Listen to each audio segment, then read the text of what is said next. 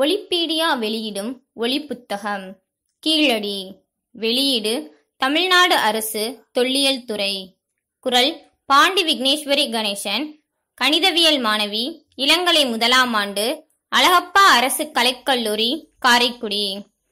இம்மின்னூல் வெளியிட உதவிய free Tamil ebooks dot com தளத்திற்கு நன்றி. மின்னூல் உரிமம் கிரியேட்டிவ் காமன்ஸ் எல்லாரும் படிக்கலாம் பகிரலாம். ஒளி புத்தகம் உரிமம். கிரியேட்டிவ் காமன்ஸ் எல்லாரும் கேட்கலாம் பகிரலாம். பகிரும்போது படைப்பாளியின் பெயரை குறிப்பிட்டே பகிர வேண்டும்.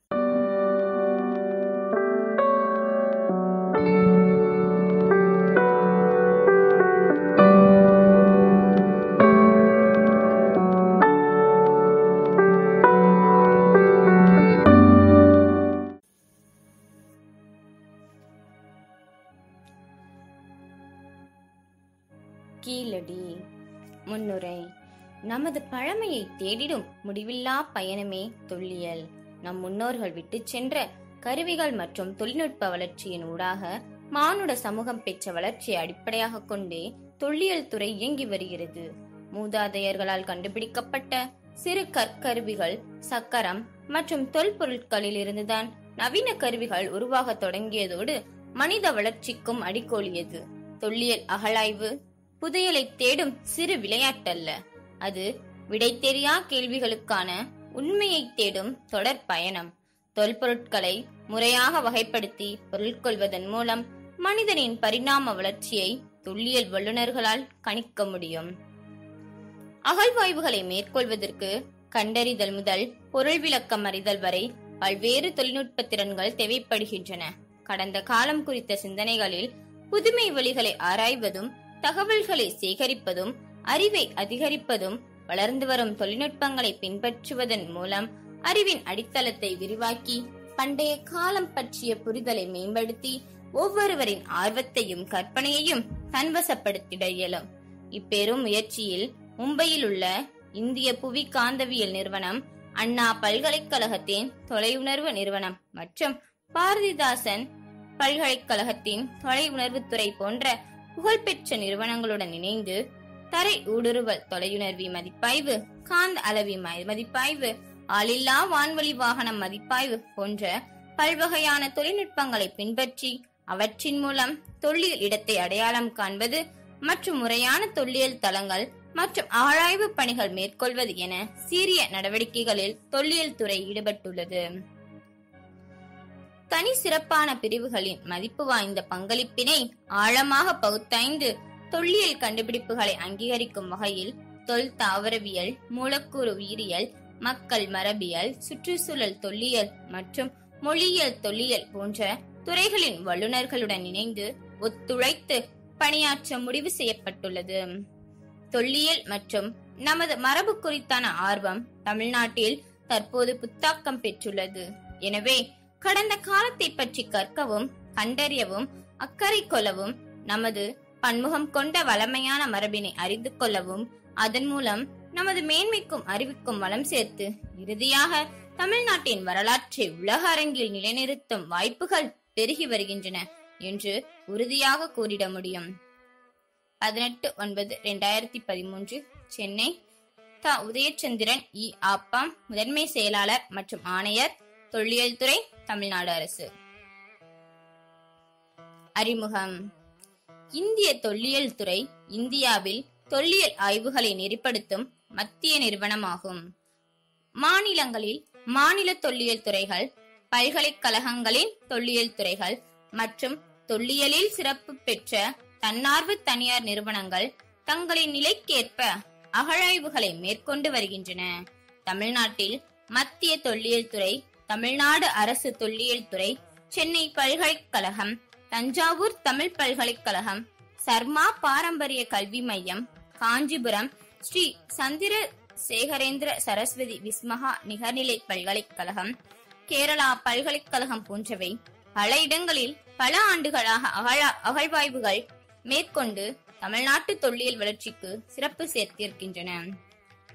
தமிழ்நாடு அரசு தொல்லியல் துறை வரலாற்று முக்கியத்துவம் கொண்ட இடங்களில் தொல்லியல் சான்றுகளை கொண்டும் கள ஆய்வுகள் செய்தும் அகழாய்வுகளை மேற்கொண்டு வருகிறது. இதுவரை இத்துறையானது நாற்பது இடங்களில் அகழாய்வுகள் மேற்கொண்டு பழைமையான பல்வேறு காலகட்டங்களின் எச்சங்களை வெளிக்கொணர்ந்துள்ளது. இவ்வகையில் அரிக்குளம் திருத்தங்கள் மாங்குடி மோதூர் கோவலன் பொட்டல் ஆனைமலை பல்லவமேடு போழுவாம்பட்டி பேரூர் பனையகுளம் குறும்பன்மேடு கண்ணனூர் திருக்கோவிலூர் பசவசமுத்திரம் பூம்புகார் தொண்டி கொற்கை அழகன்குளம் பட்டறை பெரும்புதூர் போன்ற வரலாற்று முந்தைய மற்றும் வரலாற்று தன்மைமிக்க இடங்களில் அகழாய்வுகள் செய்துள்ளது குறிப்பிடத்தக்கதாகும். இவ்வகழாய்வுகள் வாயிலாக பண்டைய தலைநகரங்கள் வணிக மையங்கள் போன்றவை அக்காலத்தில் ரோமாபுரி மற்றும் பிற நாடுகளுடனும் இந்தியாவின் பிற பகுதிகளுடனும் தமிழகம் கொண்டிருந்த வணிக தொடர்புகள் வெளிக்கொணரப்பட்டுள்ளன. வைகையாறு வைகையாறும் அதனின் கிளையாறான சுருளி ஆறும் சுருளிமலையில் இருந்து வளைந்து நெளிந்து சின்னமனூர் மதுரை வழியாக கிழக்கு நோக்கி பாய்ந்து ஓடி இடைக்கால நகரங்களான திருப்புவனம் ராஜகம்பீரம் மானாமதுரை பார்த்திபனூர் பரமக்குடி ஆகிய ஊர்களை கடந்து பின்னர் ராஜசிங்கமங்கலம் ராமநாதபுரம் பெரும் கண்மாய்களை நிரப்பி இறுதியில் அழகன்குளம் அருகே வங்கக்கடலில் சென்று கலக்கிறது. இப்பகுதியானது தென்மேற்கு பருவ மழையாலும் வடகிழக்கு பருவ கனமழையாலும் நீர்வளம் பெற்று இருபோக விளைச்சல்களையும் வாழை கமுகு போன்ற சமவெளி பகுதி பயிர்களையும் மலைச்சரிவுகளில் ஏலக்காய் போன்ற பயிர்களையும் அளித்து மக்களின் வாழ்வாதாரத்துக்கு உதவி வருகிறது. வைகை சமவெளியின் தலைப்பகுதி மேற்கு தொடர்ச்சி மலைப்பகுதிகளில் விளையும் நறுமணப் பொருட்களை கிழக்கு பகுதியில் உள்ள நகரங்களுக்கு கொண்டு செல்லும் ஒரு வணிக பெருவழியாக திகழ்ந்திருக்கின்றது. சங்க இலக்கிய நூல் தொகுப்புகளில் எட்டு தொகை நூல்களில் ஒன்றான பரிபாடலில் எட்டு செய்யுள்கள் வைகையாற்றின் பெருமைகளை எடுத்துரைக்கின்றன. அதுபோன்று மதுரை காஞ்சி எனும் சங்க இலக்கிய நூலும் மதுரை நகரத்தின் மேன்மையினை விரித்துரைக்கிறது. மதுரையின் தொன்மை வரலாறு. இந்தியாவில் உள்ள பழம்பெரும் நகரங்களுள் ஒன்று மதுரை. இந்நகரம் வரலாற்றுக்கு முந்தைய காலம் முதல் தொடரும் பெருமை கொண்டது. பழம்பெரும் பண்பாட்டு மேன்மையினால் மதுரை நகரம் தென்னிந்தியாவின் ஏதென்ஸ் என்று போற்றப்படுகிறது. மிக நெடுங்காலமாக இந்நகரம் கல்வி வளர்க்கும் பெரும் மையமாக விளங்கி வந்தது யாவரும் நன்கு அறிந்ததே. சங்க இலக்கியத்தில் கூறப்படும் சங்கம் இங்குதான் அமைக்கப்பட்டிருந்தது.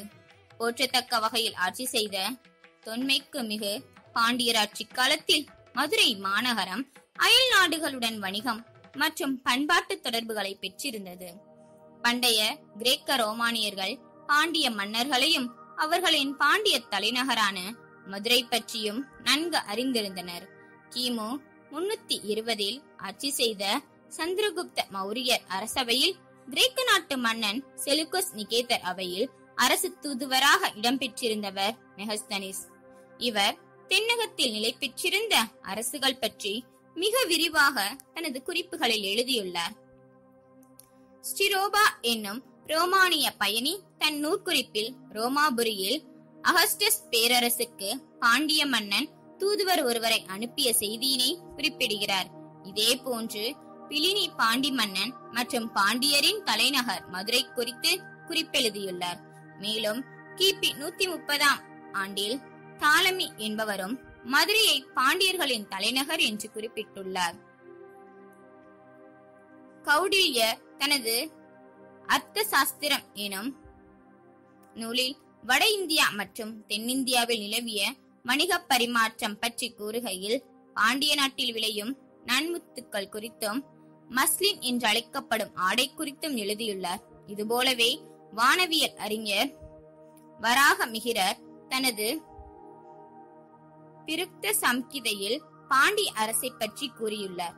புகழ்பெற்ற வடமொழி கவிஞர் காளிதாசர் தன் காப்பியத்தில் மன்னன் ரகுவால் ஆட்சி செய்யப்பட்ட ஒரு பகுதியான பாண்டிய அரசு விளங்கிற்று என்று குறிப்பிட்டுள்ளார். அசோகரின் இரண்டு மற்றும் பதிமூன்றாம் பாறை கல்வெட்டுக்கள் தென்னகத்தில் சோழ பாண்டிய சத்தியபுத்திர மற்றும் கேரளபுத்திர அரசுகள் இருந்தன என்று குறிப்பிடுகின்றன. இதே காலகட்டத்தை சார்ந்த மதுரை பகுதியில் கிடைக்கப்பெற்றுள்ள தமிழ் கல்வெட்டுக்களில் மதுரை மற்றும் பாண்டிய மன்னன் நெடுஞ்செழியன் குறித்தும் குறிப்புகள் காணப்படுகின்றன. மதுரையில் சமணம். கர்நாடக மாநிலத்தில் உள்ள சரவண பெலகோலா என்னும் இடத்துக்கு பத்ரபாகு தலைமையில் இடம்பெயர்ந்த சமணர்களால் தென்னிந்தியாவில் சமணம் பரவியது என்று கூறப்படுகிறது. மதுரையும் அதனை சுற்றியுள்ள பகுதிகளும் சமணர்கள் தமது தனித்த வாழ்வை மேற்கொள்ள பொருத்தமான இடங்களாக விளங்கின. மதுரையை சுற்றி அமைந்திருந்த இயற்கையான பாறை குகைகளை தேர்வு செய்து குடியேறினர். இவ்வாறு பாறைகளை குடைந்து படுக்கைகள் அமைக்கப்பட்ட பதினாலு குகைகளை மதுரையை சுற்றி காண முடியும். இந்த மலைக்குகை பகுதிகளில் கிமு ஐநூறு முதல் கிபி முன்னூறு வரையிலான எழுத்தமைதியை தமிழிக் கல்வெட்டுகள் காணப்படுகின்றன. அவைகளுள் பழைமையானது ஐந்து தமிழ் கல்வெட்டுக்களை கொண்டு திகழும் மாங்குளமாகும். தொல்லியல் கள ஆய்வுகள். மதுரைக்கு வடக்கே சில கற்கால கற்கருவிகளும் இருபது கிலோமீட்டர் தொலைவில் அமைந்திருக்கும் ஆவியூர் என்ற ஊரில் பழங்கற்கால கருவி ஒன்றும் ராபர்ட் புரூஸ்போர்ட் அவர்களால் கண்டெடுக்கப்பட்டது. மத்திய தொல்லியல் துறையின் தென்னிந்திய வட்டத்தின் தொல்லியல் கண்காணிப்பாளராக முனைவர் கே வி ராமன் பணியாற்றிய போது ஆயிரத்தி தொள்ளாயிரத்தி ஐம்பதுகளின் பிற்பகுதியில் மதுரை திருமங்கலம் மேலூர் பெரியகுளம் ஆகிய வட்டங்களில் கிராமம் கிராமமாக கலாய்வுகள் மேற்கொண்டு பல தொல்லியல் இடங்களையும் தொன்மை சின்னங்களையும் கண்டறிந்து அறிக்கையாக சமர்ப்பித்துள்ளார்.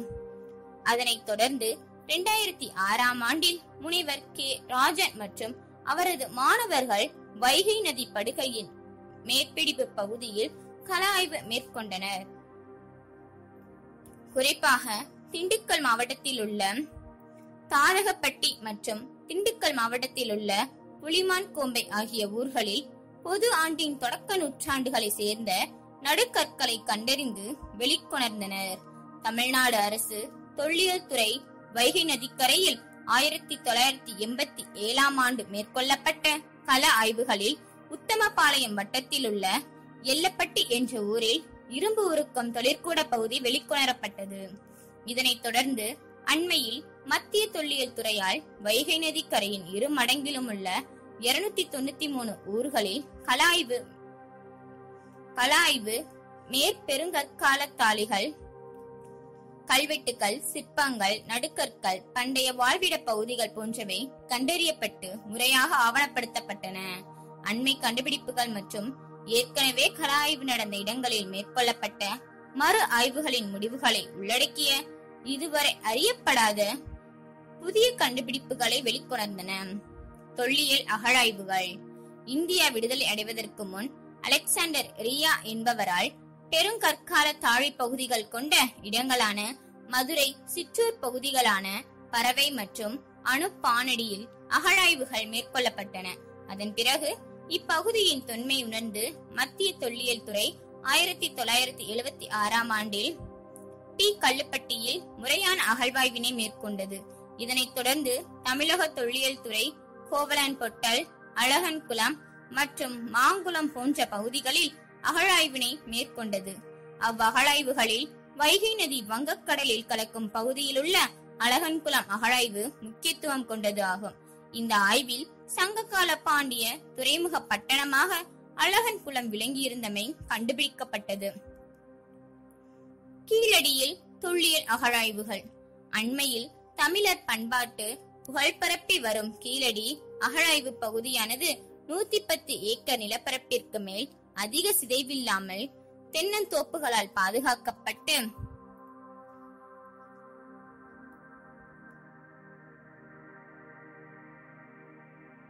ஒன்பது டிகிரி ஐம்பத்தி ஒன்று இருபத்தி ஒன்பது வடக்கு அட்சரேகைக்கும் தொண்ணூத்தி எட்டு டிகிரி பதினொன்று அறுபத்தி ஒன்பது கிழக்கு தீர்க்க ரேகைக்கும் இடையே அமைய பெற்றுள்ள ஒரு தொன்மை நகரிய குடியிருப்பு மற்றும் தொழிற்கூட பகுதியாகும்.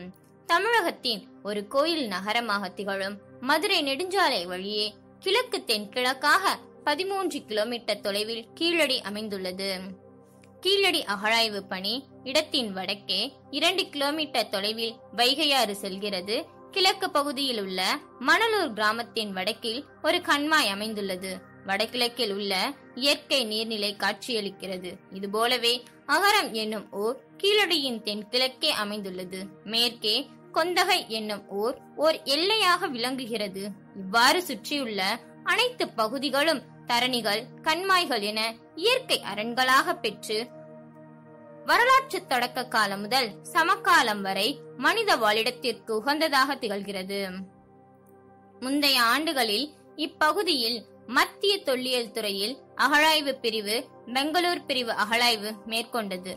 கீழடியின் நான்காம் மற்றும் ஐந்தாம் கட்ட அகழாய்வுகளை தமிழக அரசு தொல்லியல் துறை முறையே ரெண்டாயிரத்தி பதினேழு முதல் ரெண்டாயிரத்தி பதினெட்டு மற்றும் ரெண்டாயிரத்தி பதினெட்டு முதல் ரெண்டாயிரத்தி பத்தொன்பதாம் ஆண்டுகளில் செயல்படுத்தி வருகிறது.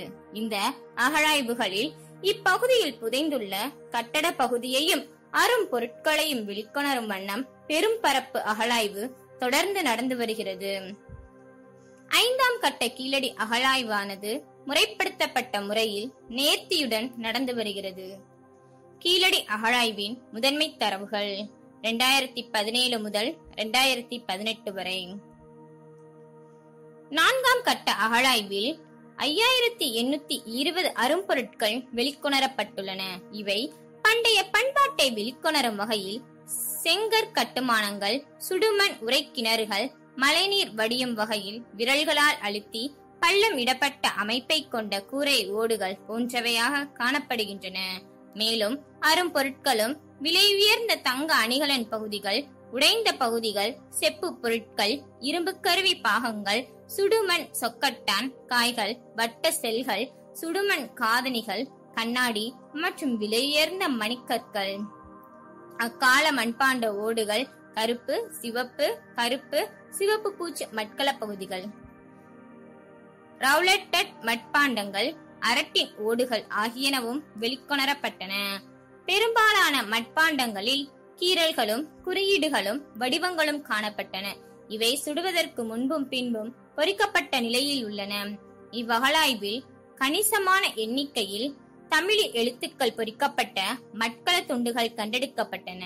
இப்பொருட்கள் வாயிலாக கீழடி பகுதியில் பண்டைய காலத்தில் தமிழர் நாகரிகம் வளர்ச்சியடைந்த நிலையில் இருந்ததும் இப்பகுதி மதுரையின் கிழக்கு திசை நீட்சியாக விளங்கியிருக்க என்பதும் புலனாகிறது. எனவே கீழடியில் மறைந்துள்ள தொல்பொருட்களை வெளிக்கொணர வேண்டியது காலத்தின் தேவை என்பதை கருத்திற்கொண்டு வரும் காலங்களில் தமிழ் சமுதாயத்தில் தொன்மைமிக்க பண்பாட்டு செல்வங்களை வெளிக்கொணரும் வகையில் அகழ்வாய்வுகள் தொடர்ந்து மேற்கொள்ளப்பட்டுள்ளன. தமிழகத்தில் நிலவிய சங்ககால பண்பாட்டு வரலாற்றாய்வில் ஒரு திருப்புமுனை பழந்தமிழர் பண்பாட்டின் சிறப்பம்சங்களை உலக அரங்கில் நிலைநிறுத்தும் நோக்கோடு தமிழ்நாடு அரசு தொல்லியல் துறை கீழடி அகழாய்வின் போது சேகரிக்கப்பட்ட தொல்பொருட்களை புகழ்பெற்ற அறிவியற் கூடங்களுக்கு அனுப்பி ஆய்வு முடிவுகளை பெற்றுள்ளது. அவ்வாறு பெறப்பட்ட ஆய்வு முடிவுகளை தொல்லியல் அறிஞர்கள் கொண்ட குழு ஆராய்ந்து தனது கருத்துக்களை தெரிவித்துள்ளது. அதன் சிறப்புக்கூறுகள் இங்கு கொடுக்கப்பட்டுள்ளன. இரண்டாயிரத்தி அறுநூறு ஆண்டுகள் பழமை வாய்ந்த கீழடி பண்பாடு. கீழடியில் இரண்டாயிரத்தி பதினெட்டாம் ஆண்டு மேற்கொள்ளப்பட்ட நான்காம் கட்ட அகழாய்வின் போது சேகரிக்கப்பட்ட ஆறு கரிம மாதிரிகள் அமெரிக்க நாட்டின் புளோரிடா மாகாணம் மியாமி நகரத்தில் அமைந்துள்ள டீட்டா பகுப்பாய்வு சோதனை ஆய்வகத்திற்கு அனுப்பப்பட்டன. பகுப்பாய்விற்கு அனுப்ப மாதிரிகளால் அதிகபட்சமாக முன்னூத்தி ஐம்பத்தி மூணு சென்டிமீட்டர் ஆழத்தில் கிடைக்கப்பெற்ற கரிமத்தின் காலம் கிமு ஐநூத்தி எண்பது என்று கணக்கீடு செய்யப்பட்ட ஆய்வறிக்கை கிடைக்கப்பெற்றுள்ளது. இக்கால கணிப்பின்படி கிமு ஆறாம் நூற்றாண்டு முதல் கிபி ஒன்றாம் நூற்றாண்டு வரை வளமையான பண்பாடு கொண்ட பகுதியாக கீழடி விளங்கியிருக்க வேண்டும் என தெரிகிறது. இந்த ஆய்வு முடிவுகளை கவனமாக ஆய்வு செய்த பிரபல தொல்லியல் அறிஞர் பேராசிரியர் க. ராஜன் பழந்தமிழரின் தொன்மை தொடர்பாக இதுவரை நிலவி வந்த சில கேள்விகள் மற்றும் கருதுகோள்களுக்கு உறுதியான விடைகள் சான்றுகள் தற்போது கிடைத்துள்ளன என்று கருதுகிறார். குறிப்பாக தமிழ்நாட்டு நகரமயமாதல் கிமு மூன்றாம் நூற்றாண்டு வாக்கில்தான் தொடங்கியது என இதுவரை கருதப்பட்டு வந்தது. ஆனால் தற்போது கிடைக்கப்பெற்றுள்ள சான்றுகளின் மூலம் வைகை கடற்கரையில் நகரமயமாதல் கிமு ஆறாம் நூற்றாண்டிலிருந்தே தொடங்குகிறது என்பது தெளிவாகிறது. இதே காலகட்டத்தில்தான் வட இந்தியாவின் கங்கை சமவெளி பகுதியிலும் நகரமயமாதல் தொடங்கியது என்பது குறிப்பிடத்தக்கது. அதேபோல் இதுவரை தமிழ் பிராமி எழுத்து வடிவத்தில் காலம் கிம் ஐந்தாம் நூற்றாண்டு என அழகன்குளம் கொடுமணல் பொருந்தல் அகழாய்வுகளின்படி கருதப்பட்டு வந்தது. எனினும் தற்போது கிடைத்திருக்கும் கீழடி அகழாய்வு கிடைத்த அறிவியல் ரீதியான காலக்கணிப்புகள் தமிழ் பிராமியின் காலம் மேலும் நூற்றாண்டுகள் பழமை வாய்ந்தது என்னும் முடிவுக்கு நம்மை இட்டுச் செல்கிறது.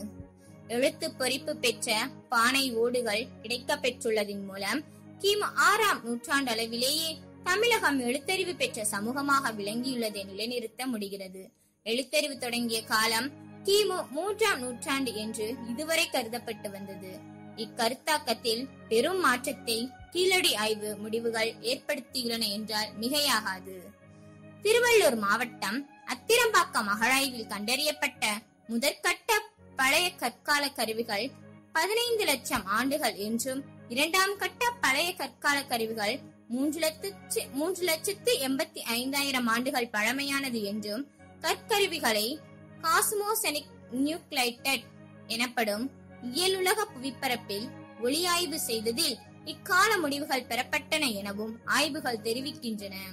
அதே போன்று நுண்கற்காலத்தை சேர்ந்த கற்கால கருவிகள் திருநெல்வேலி பகுதியிலும் வைகை மற்றும் குண்டாறு ஆற்று படுக்கைகளிலும் புதிய கற்கால பண்பாடுகளின் கருவிகள் தமிழகத்தின் வடக்கு வடமேற்கு பகுதிகளில் குறிப்பாக தர்மபுரி கிருஷ்ணகிரி திருவண்ணாமலை வேலூர் மாவட்டங்களில் கிடைத்துள்ளன. அதன் அடுத்த காலகட்டமான இரும்பு காலத்தை சார்ந்த சேலம் வட்டாரத்திலுள்ள மாங்காடு மற்றும் தெலுங்கனூர் ஊர்களில் உள்ள பெருங்கற்படை ஈமச் சின்னங்களில் கண்டறியப்பட்ட மாதிரிகளிலிருந்து இரும்பு காலம் கிமு இரண்டாயிரம் என கால கணக்கீடு செய்யப்பட்டுள்ளது. ஆதிச்சநல்லூர் முதுமக்கள் தாழி அகழாய்விலிருந்து சேகரிக்கப்பட்ட கரிமம் கால கணக்கீடு செய்யப்பட்டதில் இதன் காலம் கிமு எட்டாம் நூற்றாண்டு என்று வரையறை செய்யப்பட்டுள்ளது. தற்போது கீழடி அகழாய்வு சேகரிக்கப்பட்ட ஆறு கரிம பகுப்பாய்வுகளின் முடிவுகள் கீழடியின் கிமு ஆறாம் நூற்றாண்டு என்று தெரிய வருகிறது. அண்மை கால அகழாய்வுகளும் அறிவியல் ரீதியான கால கணிப்புகளும் தமிழ்நாட்டில் ஏறத்தாழ பதினைந்து லட்சம் ஆண்டுகளாக மக்கள் வாழ்ந்து வருகின்றனர் என்பதும் தற்போதைய கீழடி ஆய்வுகள் மூலம் தமிழகத்தின் தொடக்ககால வரலாறு காலத்தில் கிமு ஆறாம் நூற்றாண்டளவில் மக்கள் எழுத்தறிவு பெற்றிருந்தனர் என்பது உறுதியாகிறது. வேளாண் சமூகம் மற்றும் கால்நடை வளர்ப்பு. கீழடி அகழாய்வில் வெளிக்கொணரப்பட்ட விலங்குகளின் எழுபது எலும்பு துண்டுகளின் மாதிரிகள் அறிவியல் அடிப்படையில் பகுப்பாய்வு செய்வதற்கு புனேவில் உள்ள முதுகலை மற்றும் ஆராய்ச்சி நிறுவனமான டெக்கான் கல்லூரிக்கு அனுப்பப்பட்டன. இந்த எலும்பு துண்டுகள் பகுப்பாய்வின் தன்மைக்கேற்ப வகைப்படுத்தப்பட்டதில் இவை திமிரில் உள்ள காலை திமிலுள்ள காளை எருமை வெள்ளாடு கலைமான் காட்டுப்பன்றி மற்றும் மயில் ஆகிய உயிரினங்களுக்குரியவை என்று அடையாளம் காணப்பட்டுள்ளன. இவற்றில் திமிலுள்ள காளை பசு எருமை வெள்ளாடு ஆகிய விலங்கினங்கள் ஐம்பத்தி மூன்று சதவீதம் இடம்பெற்றுள்ளன. எனவே இவ்விலங்கினங்கள் வேளாண்மைக்கு உறுதுணை செய்யும் வகையில் கால்நடைகளாக வளர்க்கப்பட்டுள்ளன என கருதலாம். கலைமான் வெள்ளாடு காட்டுப்பன்றி போன்ற விலங்குகளின் சில எலும்பு மாதிரிகளில் வெட்டுத்தழும்புகள் காணப்படுகின்றன. என்று ஆய்வில் குறிப்பிட்டுள்ளதால் இவ்விலங்கினங்களை அக்கால மனிதர்கள் உணவிற்காக பயன்படுத்தியுள்ளனர் என்பது தெரிய வருகிறது இப்பகுப்பாய்வு முடிவுகள் மூலம் சங்ககால சமூகம் வேளாண்மையை முதன்மை தொழிலாக கொண்டிருந்ததோடு கால்நடை வளர்ப்பையும் மேற்கொண்டிருந்தது என்பது தெளிவாகிறது. இனி வருங்காலங்களில் மேற்கொள்ளப்படும் அகழாய்வின் போது சேகரிக்கப்படும் மகரந்தம் மற்றும் பைட்டோலி போன்ற தாவரவியல் மாதிரிகளை முறையாக பகுப்பாய்வு செய்வதன் மூலம் கூடுதல் தெளிவு பெற முடியும். கட்டுமான பொருட்களின் பகுப்பாய்வு. கீழடி அகழாய்வு கண்டறியப்பட்ட செங்கற்கள் சுண்ணாம்பு சாந்து கூரை ஓடுகள் மற்றும் சுடுமண்ணாலான உரைக்கிணற்றின் பூச்சி ஆகியவற்றின் மாதிரிகள் வேலூர் தொழில்நுட்ப பல்கலைக்கழகத்துக்கு ஆய்வுக்காக அனுப்பப்பட்டன. இவை ஒவ்வொன்றிலும் சிலிக்காமன் சுண்ணாம்பு இரும்பு அலுமினியம் மற்றும் மெக்னீசியம் போன்ற கனிமங்கள் காண கிடைக்கின்றன அவற்றின் கலவை மற்றும் தன்மை குறித்து விரிவான அறிக்கை பெறப்பட்டுள்ளது. செங்கல் மற்றும் கூரை ஓடுகளில் எண்பது சதவீதத்திற்கும் அதிகமாக சிலிக்காவும் பிணைப்பு காரணியாக அதிகளவு எல்- ஏழு சதவீதம். சுண்ணாம்பும் கலந்துள்ளதையும் சுண்ணாம்பு சாந்து தொண்ணூத்தி ஏழு சதவீதம் சுண்ணாம்பு கொண்டிருந்ததையும் உற்று நோக்கும் பொழுது அக்காலகட்ட மக்கள் மிக தரமான கட்டுமான பொருட்களை பயன்படுத்தி உள்ளனர் என்பது தெரிய வருகிறது. மேற்படி சுண்ணாம்பு சாந்தில் தொண்ணூத்தி ஏழு சதவீதம் சுண்ணாம்பு இருப்பதாக ஆய்வறிக்கையில் தெரிவித்திருப்பதால் மிகவும் வலிமையாக இன்று வரை நீடித்து இருப்பதற்கு இதுவே சான்றாகும். கட்டட தொழில்நுட்பம். தமிழ்நாடு அரசு தொல்லியல் துறையின் இரண்டு கட்ட அகழாய்வுகளில் சிறிய அளவிலான செங்கல் கட்டுமானங்கள் வெளிப்படுத்தப்பட்டுள்ளன. இரண்டாம் கட்ட அகழாய்வில் பதிமூணு மீட்டர் நீளமுள்ள மூன்று வரிசை கொண்ட சுவர் ஒன்று வெளிப்படுத்தப்பட்டுள்ளது. இச்சுவரில் முப்பத்தி எட்டு பெருக்கல் இருபத்தி மூன்று பெருக்கல் இருபத்தி மூன்று பெருக்கல் ஆறு அளவு மற்றும் முப்பத்தி எட்டு பெருக்கல் இருபத்தி ஆறு பெருக்கல் ஆறு அளவு கொண்ட இரண்டு விதமான செங்கற்கள் பயன்படுத்தப்பட்டுள்ளன. செங்கல்லின் அகலம் மட்டுமே சிறிது மாறுபட்டு இருக்கிறதே தவிர நீளம் மற்றும் தடிமன் ஆகியவை ஒரே அளவில் உள்ளது குறிப்பிடத்தக்கது. இவை தமிழகத்தில் சங்ககாலத்தை சார்ந்த பிற தொல்லியல் இடங்களில் காணப்படும் செங்கற்களை போல் ஒன்னு ஈஸ்ட் நாலு ஈஸ்ட் ஆறு என்ற விகிதாச்சார அளவிலேயே காணப்படுவதால் அக்காலகட்டத்தில் கட்டுமானத்தில் காணப்படும் தொழில்நுட்பத்தை உய்த்து உணரலாம். சில பகுதிகளில் தரைத்தளம் கண்டறியப்பட்டுள்ளது. நன்கு சன்னமான களிமண்ணை கொண்டு தரைத்தளம் அமைத்து செங்கற்களை கொண்ட பக்க சுவர்களை எழுப்பியுள்ளனர். தூண்கள் நட்டு மேற்கூரை அமைக்க ஏற்படுத்தப்பட்ட துளைகள் கண்டறியப்பட்டுள்ளன. இத்தூண்கள் மரத்தால் செய்யப்பட்டிருக்க வேண்டும். ஆனால் அதற்கான சான்றுகள் அகழாய்வில் கிடைக்கப் பெறவில்லை எனினும் அகழாய்வில் இரும்பு ஆணிகள் கண்டெடுக்கப்பட்டுள்ளதை வைத்து சட்டங்களை கொண்டு பொருத்தியிருக்க வேண்டும் என்று கருதலாம். ஒரு பகுதியில் ஏராளமான கூரை ஓடுகள் சரிந்து விழுந்து அதற்கான அடையாளங்கள் ஆவணப்படுத்தப்பட்டுள்ளன. இக்கூரை ஓடுகளின் தலைப்பகுதியில் இரண்டு துளைகள் காணப்படுகின்றன. மரச்சட்டங்களை கொண்டு அமைக்கப்பட்ட மேற்கூரையின் மீது கீழிருந்து மேலாக சுடு மண்ணாலான கூரை ஓடுகள் வேயப்பட்டிருப்பதுடன் அவை கீழே விழாமல் இருக்க அத்துளைகளில் நார் அல்லது கயிறு கொண்டு கட்டியிருக்க வாய்ப்புள்ளது. மேற்கூரை மீது விழும் மழைநீர் எளிதில் கீழே வரும் வகையில் கூரை ஓடுகளில் விரல்களால் மிக அழுத்தி உருவாக்கப்பட்ட நீர்வடியம் பள்ளங்கள் காணப்படுகின்றன. இந்த அமைப்புகளை சங்க காலத்தில் நிலவிய வளர்ந்த சமூகத்தின் அடையாளமாக பார்க்கலாம். தற்போது அகலாய்வுகள் தொடர்ந்து நடந்து வருகின்றன. செங்கல் கட்டுமானங்கள் முழுமையாக வெளிப்படுத்த பின்னர் கட்டுமானத்தின் பயன்பாடு குறித்து முழுமையாக தெரிய வரும். இந்தியாவில் கிடைக்கப்பெற்ற வரி வடிவங்களில் காலத்தால் தொன்மையானது நாலாயிரத்தி ஐநூறு ஆண்டுகள் பழமை வாய்ந்த சிந்து சமவெளி வரி வடிவங்களாகும். சிந்து சிந்துவெளி பண்பாடும் தமிழ் பிராமி எழுத்துக்கள் தோன்றியதற்கு இடைப்பட்ட காலத்தில் ஒரு வரி வடிவம் இருந்தது. அவ்வரி வடிவத்தினை ஆய்வாளர்கள் குறியீடுகள் என்றும் அழைக்கின்றனர். இவற்றை சாதாரண கீறல்கள் என்று புறந்தள்ளி விட இயலாது. ஏனெனில் இவை சிந்துவெளி வரி வடிவத்தின் நீட்சியாகவும் தமிழ் பிராமி எழுத்துக்களின் முன்னோடியாகவும் இருக்க வேண்டும். சிந்துவெளி எழுத்துக்கள் போன்றே இவற்றை படித்தறிதலும் முழுமை பெறவில்லை. செப்புக்கால பண்பாட்டிலும் அதன் தொடர்ச்சியாக பெருங்கற்கால பண்பாட்டின் இக்குறியீடுகள் கிடைக்கின்றன. இத்தகைய குறியீடுகள் கருப்பு சிவப்பு பானை ஓடுகளில் காணப்படுவது குறிப்பிடத்தக்கது. இரும்பு காலத்தில் ஊர் இருக்கைகளிலும் பெருங்கற்கால ஈமச் சடங்குகளிலும் காணப்படுகின்றன. தமிழகத்தில் ஆதிச்சநல்லூர் கொற்கை அழகன்குளம் கொடுமணல் கரூர் தேரிருவேலி உறையூர் மாங்குளம் பேரூர் போன்ற பிற தொல்லியல்சார் இடங்களில் மேற்கொள்ளப்பட்ட அகழாய்வுகளிலும் குறியீடுகள் கொண்ட பானை ஓடுகள் கிடைத்துள்ளன. தமிழகம் மட்டுமின்றி இலங்கையில் திசமகரம கந்தோரடை மாந்தை ரிதியகாமா போன்ற ஊர்களிலும் இது போன்ற குறியீடுகள் கிடைத்துள்ளன. இந்திய துணைக்கண்டத்தில் தமிழகத்தில் இவை பரந்த அளவில் சேகரிக்கப்பட்டுள்ளன. அதிலும் குறிப்பாக தென்னிந்தியாவில் கண்டெடுக்கப்பட்டுள்ள குறியீடுகளில் எழுபத்தி ஐந்து சதவீதம் தமிழகத்தில் கிடைக்கப்பெற்றவை என்பது சிறப்பாகும். தமிழ் பிராமிக்கு முந்தைய வரி வடிவமாக விளங்கிய குறியீடுகள் பெருங்கற்கால மற்றும் இரும்புக்கால மக்களின் எண்ணத்தை பிரதிபலிக்கும் எழுத்து வடிவமாகும். கீழடி அகழாய்வில் கண்டெடுக்கப்பட்டு இத்தகைய கீறல்கள் பொறித்த ஆயிரத்தி ஒரு பானை ஓடுகள் இரும்பு காலம் தொட்டு இப்பகுதியில் மக்கள் வாழ்ந்து வருகின்றனர் என்பதை உணர்த்துகின்றன.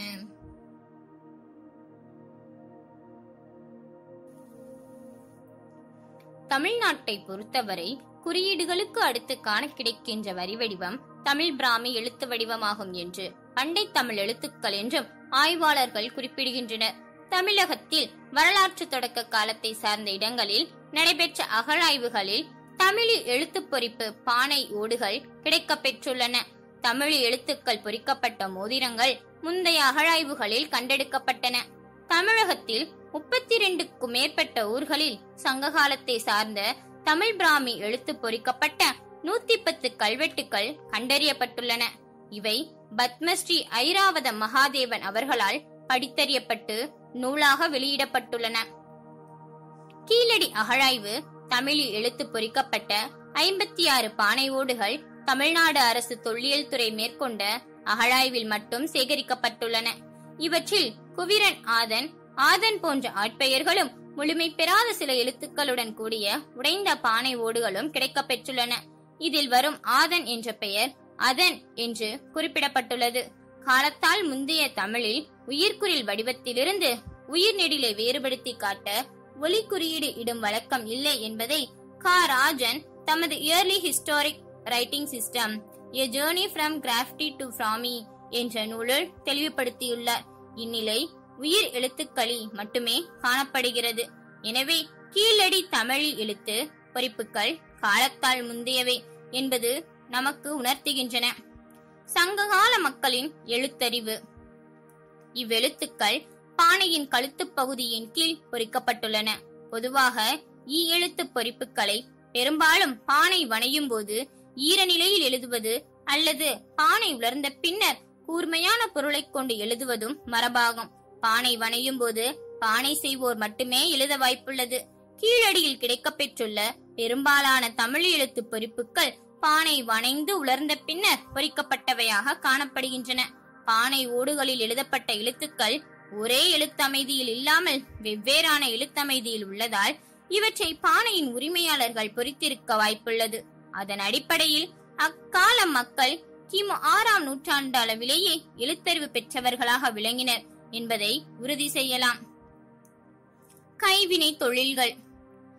அகழ்வாய்வில் கண்டெடுக்கப்பட்ட பதினேழு பானை ஓடுகள். அவற்றில் உள்ள தனிமங்களை கண்டறியும் சோதனைக்காக இத்தாலியில் உள்ள பைசா பல்கலைக்கழகத்தின் புவி அறிவியல் துறைக்கு வேலூர் தொழில்நுட்ப கழகம் மூலமாக அனுப்பி வைக்கப்பட்டன. பானை ஓடுகளில் காணப்பட்ட கனிமங்கள் பாறை துகள்களின் தன்மை மேலும் அவற்றின் பயன்பாடு குறித்து ஆய்வு முடிவுகள் பெறப்பட்டுள்ளன. கிடைக்கப்பெற்ற தண்ணீர் சேகரிக்கவும் சமையலுக்காகவும் பயன்படுத்தப்பட்ட பானைகள் தனித்த பானை வனைவு தொழில்நுட்பத்தை பயன்படுத்தி உள்ளூரிலேயே வணையப்பட்டவை என்பது உள்ளூர் முன்மாதிரியை ஒப்பீட்டாய்வு செய்து உறுதிப்படுத்தப்பட்டுள்ளது. கீழடி அகழாய்வு இரண்டு இடங்களில் நான்கு மீட்டர் அளவுக்கு மேல் மிகப்பெரிய அளவில் பானை ஓடுகளின் குவியல்கள் கண்டறியப்பட்டதை கருத்தில் கொண்டு கீழடியில் பானை வணையும் தொழிற்கூடம் செயல்பட்டிருக்க வேண்டும் என்று முடிவுக்கு வரலாம். அடுத்து கீழடியில் கிடைத்த கருப்பு சிவப்பு பானை ஓடுகள் சிலவற்றின் மாதிரிகள் நிறமாலையியல் பகுப்பாய்வு சோதனைக்கு உட்படுத்தப்பட்டன. அந்த ஆய்வு முடிவுகளின் மூலம் கருப்பு சிவப்பு நிறப்பானை ஓடுகளின் சிவப்பு நிறத்திற்கு இரும்பின் தாது பொருளான ஹேமடைட் என்பதையும் கருப்பு நிறத்திற்கு கரிம பொருளான கரியையும் பயன்படுத்தியுள்ளது தெரிய வருகிறது. இக்கருப்பு சிவப்பு நிற பானைகள் ஆயிரத்தி நூறு டிகிரி செல்சியஸ் வெப்பநிலையில் சுட்டு உருவாக்கும் தனித்தன்மை வாய்ந்த தொழில்நுட்பத்தை பயன்படுத்தியுள்ளனர். கீழடியில் கிடைத்த மட்பாண்டங்களின் தொழில்நுட்பம் தனிமங்களின் கலவை களிமண்ணின் தன் தன்மை ஆகியவை கிமு ஆறாம் நூற்றாண்டிலிருந்து கிமு இரண்டாம் நூற்றாண்டு வரை ஒரே மாதிரியாக இருந்துள்ளன என இத்தாலியின் பைசா பல்கலைக்கழக அறிக்கையில் தெரிய வருகிறது. சில பானை ஓடுகளின் மாதிரிகள் தமிழகத்தின் பிற பகுதியில் உள்ள மண்தன்மை ஒத்திருப்பது கிமு இரண்டாம் நூற்றாண்டுக்குரியது என்றும் ஆய்வறிக்கை விளங்குகிறது. எனவே இதன் மூலம் வணிகர்கள் தொழில் சார்ந்தோர் பயணியர் ஆகியோர் இடையே நிலவிய வணிக பரிமாற்றங்கள் உறுதியாகின்றன. நெசவு. இவ்வகலாய்வுகளில் நூல்களை நூற்க பயன்படும் தக்களி துணிகளில் உருவ வடிவமைப்புகளை வரைவதற்கு உபயோகப்படுத்தப்படும் எலும்பினாலான கூரிய முனைகள் கொண்ட தூரிகை தரியில் தொங்கவிடும் கருங்கள் மற்றும் சுடுமண்ணால் செய்யப்பட்ட குண்டு செம்பினாலான ஊசி சுடுமண் பாத்திரம் போன்ற தொல்பொருட்கள் கண்டெடுக்கப்பட்டுள்ளன. இந்திய தொல்லியல் துறை ஏற்கனவே மேற்கொண்ட அகழாய்வுகளில் வெளிப்படுத்தப்பட்ட கட்டுமானங்கள் சாய தொழிற்சாலை இருந்ததற்கான சான்றுகள் என்று கூறியுள்ளது. தற்போதைய அகழ்வாய்வுகளிலும் கிடைத்துள்ள நெசவு தொடர்பான தொல்பொருட்கள் இப்பகுதியில் நெசவு தொழில் சிறந்து விளங்கியதற்கு சான்று பகிர்கின்றன. வாழ்க்கை முறை. தமிழகத்தில் சங்க காலத்தை மீளுருவாக்கம் செய்வதற்கு முதன்மை சான்றுகளான கல்வெட்டு நாணயம் வெளிநாட்டவர் குறிப்புகள் இலக்கியம் மற்றும் தொல்பொருட்கள் ஆகியவற்றினை முன்னிறுத்தி ஆய்வு மேற்கொள்ளும் போதுதான் அச்சமூகத்தின் முழுமையான வாழ்க்கை முறையை அறிந்து கொள்ள இயலும். கீழடி அகழாய்வில் கிடைக்கப்பெற்றுள்ள தொல்பொருட்கள் அக்கால சமுதாயத்தினை பிரதிபலிக்கும் வகையில் உள்ளன.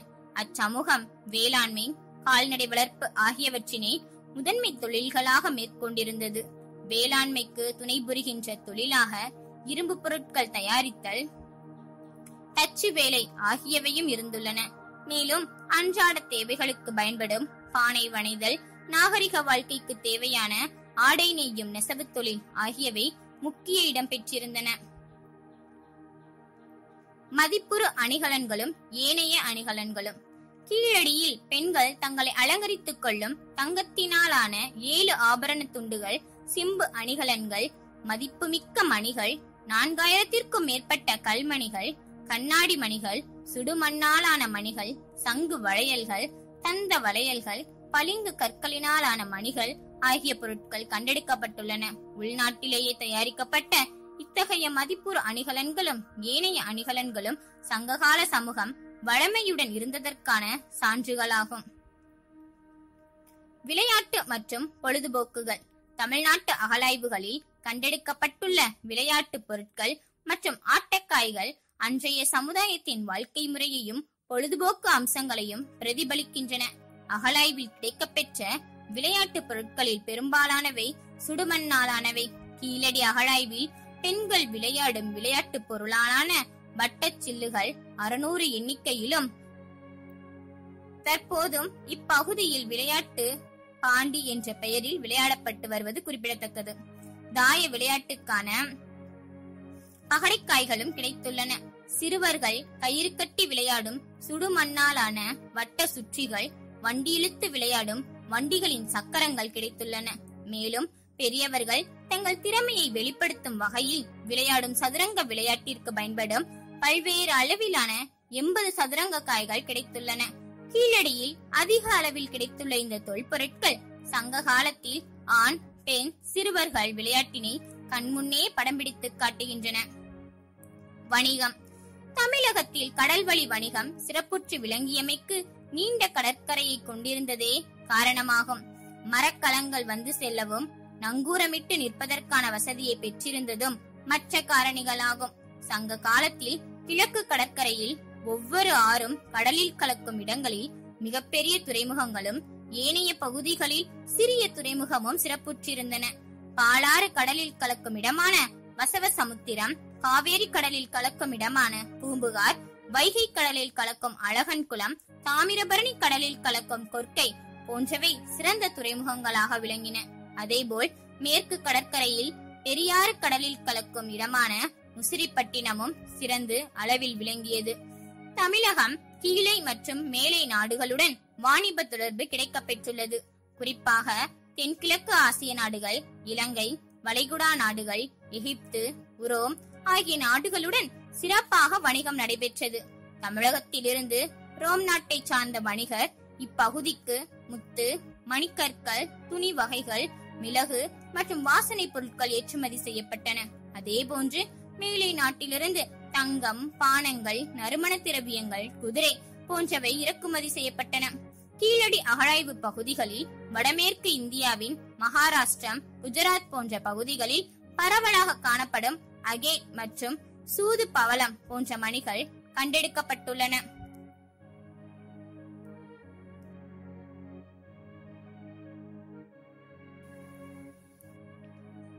சுடுமண் உருவங்கள். மனித குலத்தின் மிக தொன்மையான கலை வடிவம் சுடுமண் உருவங்களாகும். இக்கலையானது கல் மரம் தந்தம் உலோகம் போன்றவற்றில் கலை வடிவங்கள் வடிப்பதற்கு முன்னர் தோன்றியது. இச்சுடுமண் உருவங்கள் செய்வதற்கு மிகப்பெரிய தொழில்நுட்பமோ சிறப்பான கருவிகளும் தேவையில்லை. மனிதனின் கைவிரல்களே கருவியாகும்.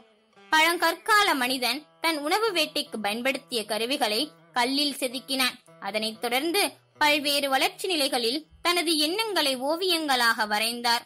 பின்னர் மண்ணை கொண்டு உருவங்களாக உருவாக்கினான் களிமண் அல்லது வண்டல் மண் மற்றும் தண்ணீர் சேர்த்து அழகிய சுடுமண் உருவங்களை படைக்க முற்பட்டான்.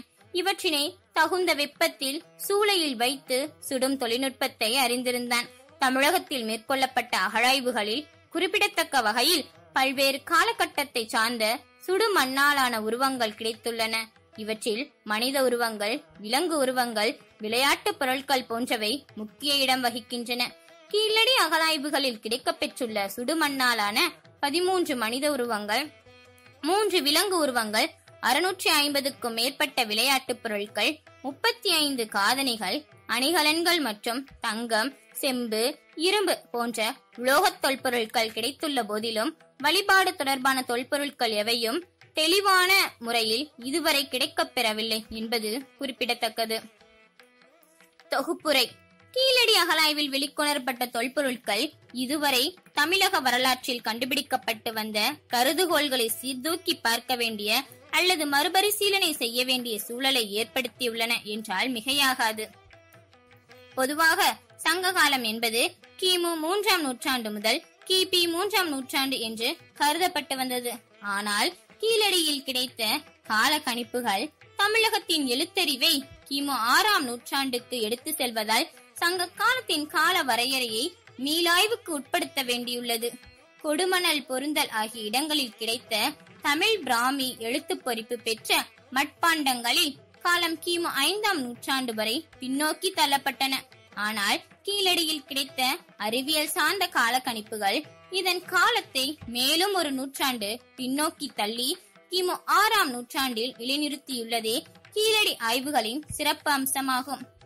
கிமு ஆறாம் நூற்றாண்டு அளவிலேயே தமிழகம் எழுத்தறிவு பெற்ற சமூகமாக விளங்கியிருப்பதால் கிமு ஆறாம் நூற்றாண்டளவிலேயே வரலாற்று தொடக்க காலம் தொடங்கி விடுவதால் வரலாற்று காலத்துக்கு முந்தைய இரும்பு காலம் கிமு இரண்டாயிரத்தில் தொடங்கி விடுகிறது எனலாம்.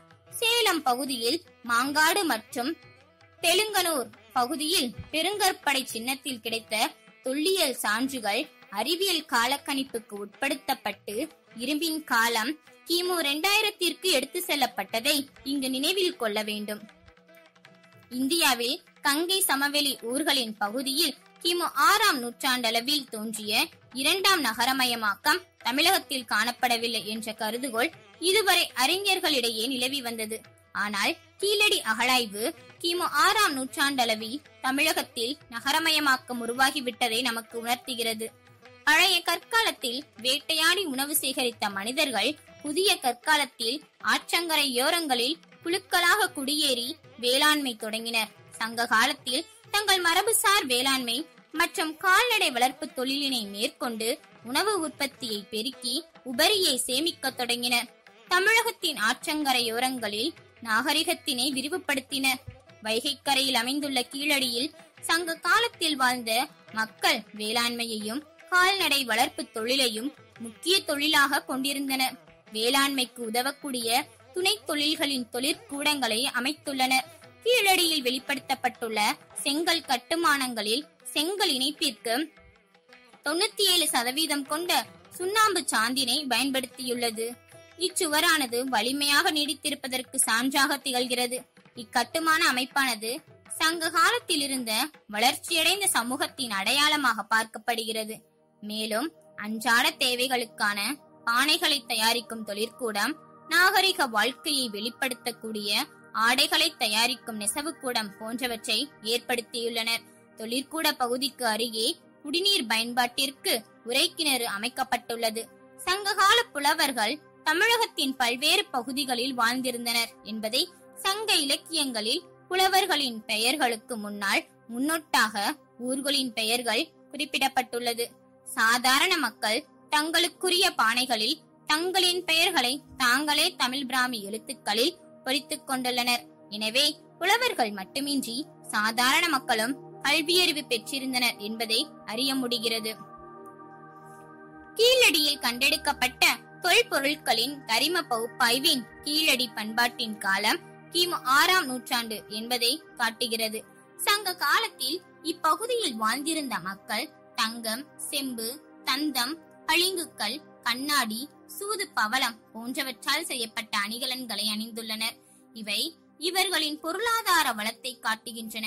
இச்சமூகம் பொருளாதாரத்தில் தன்னிறைவு அடைந்த நிலையில் தங்களது ஓய்வு நேரங்களில் உடற்பயிற்சி மற்றும் அறிவுத்திறனை பெருக்கும் விளையாட்டுகளை விளையாடி பயனுள்ள வகையில் பொழுதுகளை கழித்துள்ளனர் சங்க காலத்தில் இவ்வூர் மக்கள் வெளியூர் வட இந்தியா மற்றும் ரோம் நாட்டுடன் வாணிப தொடர்புகள் கொண்டிருந்தனர் என்பதற்கு அப்பகுதியில் இருந்தே கொண்டுவரப்பட்ட பானைகள் மணிகள் போன்ற தொல்பொருட்கள் சான்று பகிர்கின்றன. மேற்படி ஆய்வுகளின்படி வைகைக்கரையில் வாழ்ந்த சங்ககால மக்கள் வேளாண்மை மூலம் பொருளாதாரத்தை பெருக்கி தன்னிறைவுடன் தங்களது வாழ்க்கை தரத்தினை உயர்த்திக் கொண்டுள்ளனர். இம்மக்கள் செங்கல் கட்டுமானத்தில் தொழிற்கூடங்கள் அமைத்துள்ளதும் பிற நாட்டினருடன் வாணிபம் மேற்கொண்டுள்ளதும் நாகரிகத்தோடு வாழ்ந்திருந்தனர் என்று கூறுவதற்கு பொருத்தமானதாகும். இச்சான்றுகள் தமிழகத்தில் நிலவிய தற்கால பண்பாட்டு வரலாற்றைவில் திருப்புமுனை ஏற்படுத்தியுள்ளன எனலாம்.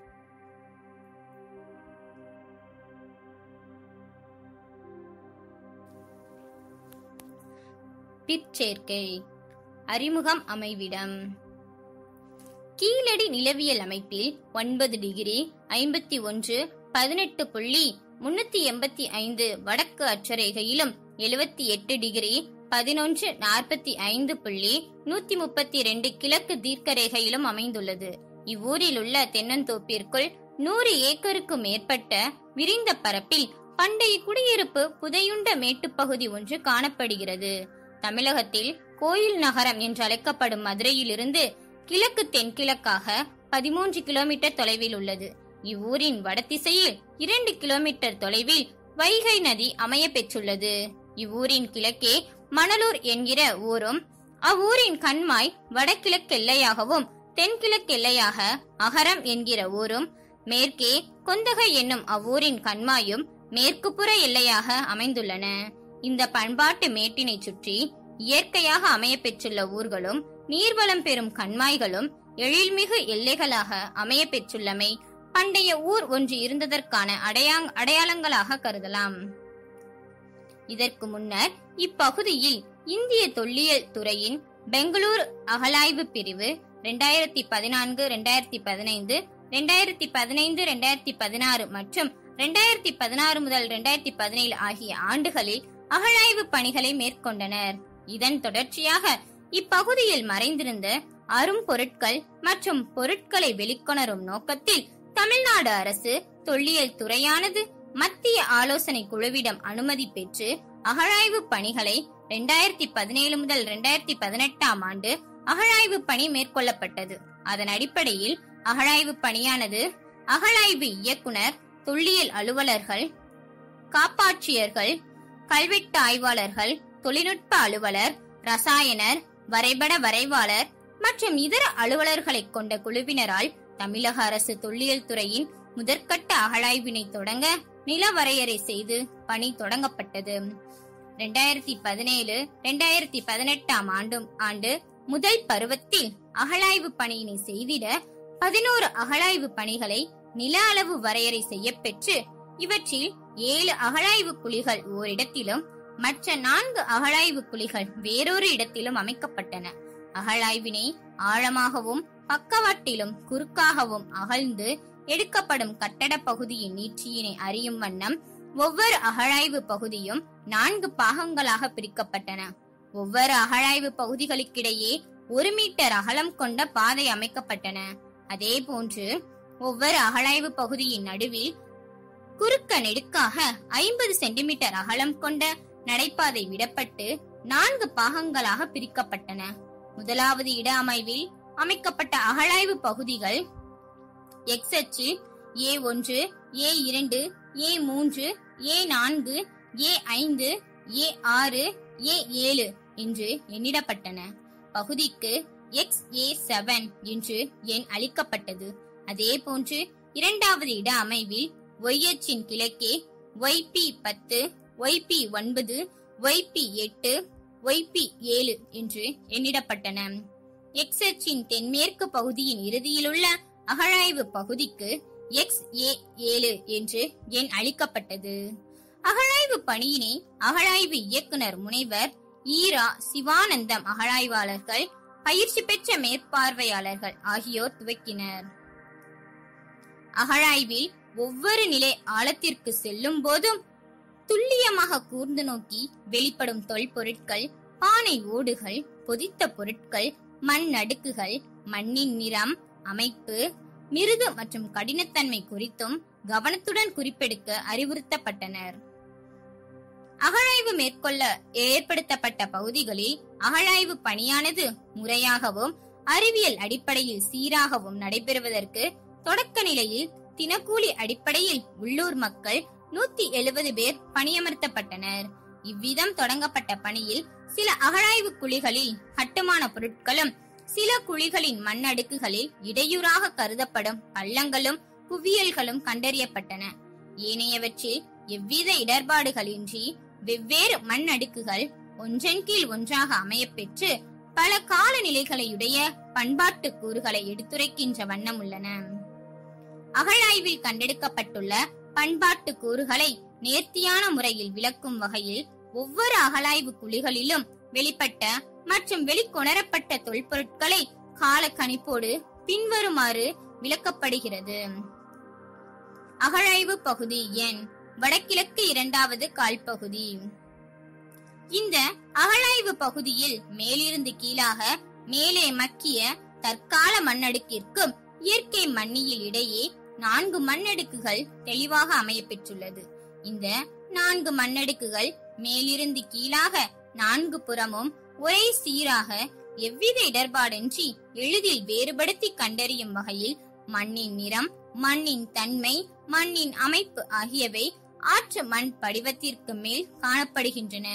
மேலடுக்கானது மக்கிய தழை வேர் நார் மற்றும் களிமண் உள்ளடக்கிய கலவையாக பதினான்கு சென்டிமீட்டர் அளவு பருமன் வரை கொண்டுள்ளது. இருப்பினும் முதல் மண்ணடுக்கானது களிமண் தன்மை கொண்டு மிகவும் கடினமாக உள்ளது. இந்த மண்ணடுக்கின் பருமன் முப்பது சென்டிமீட்டர் முதல் அறுபத்தி ஆறு சென்டிமீட்டர் வரை பரவியுள்ளது.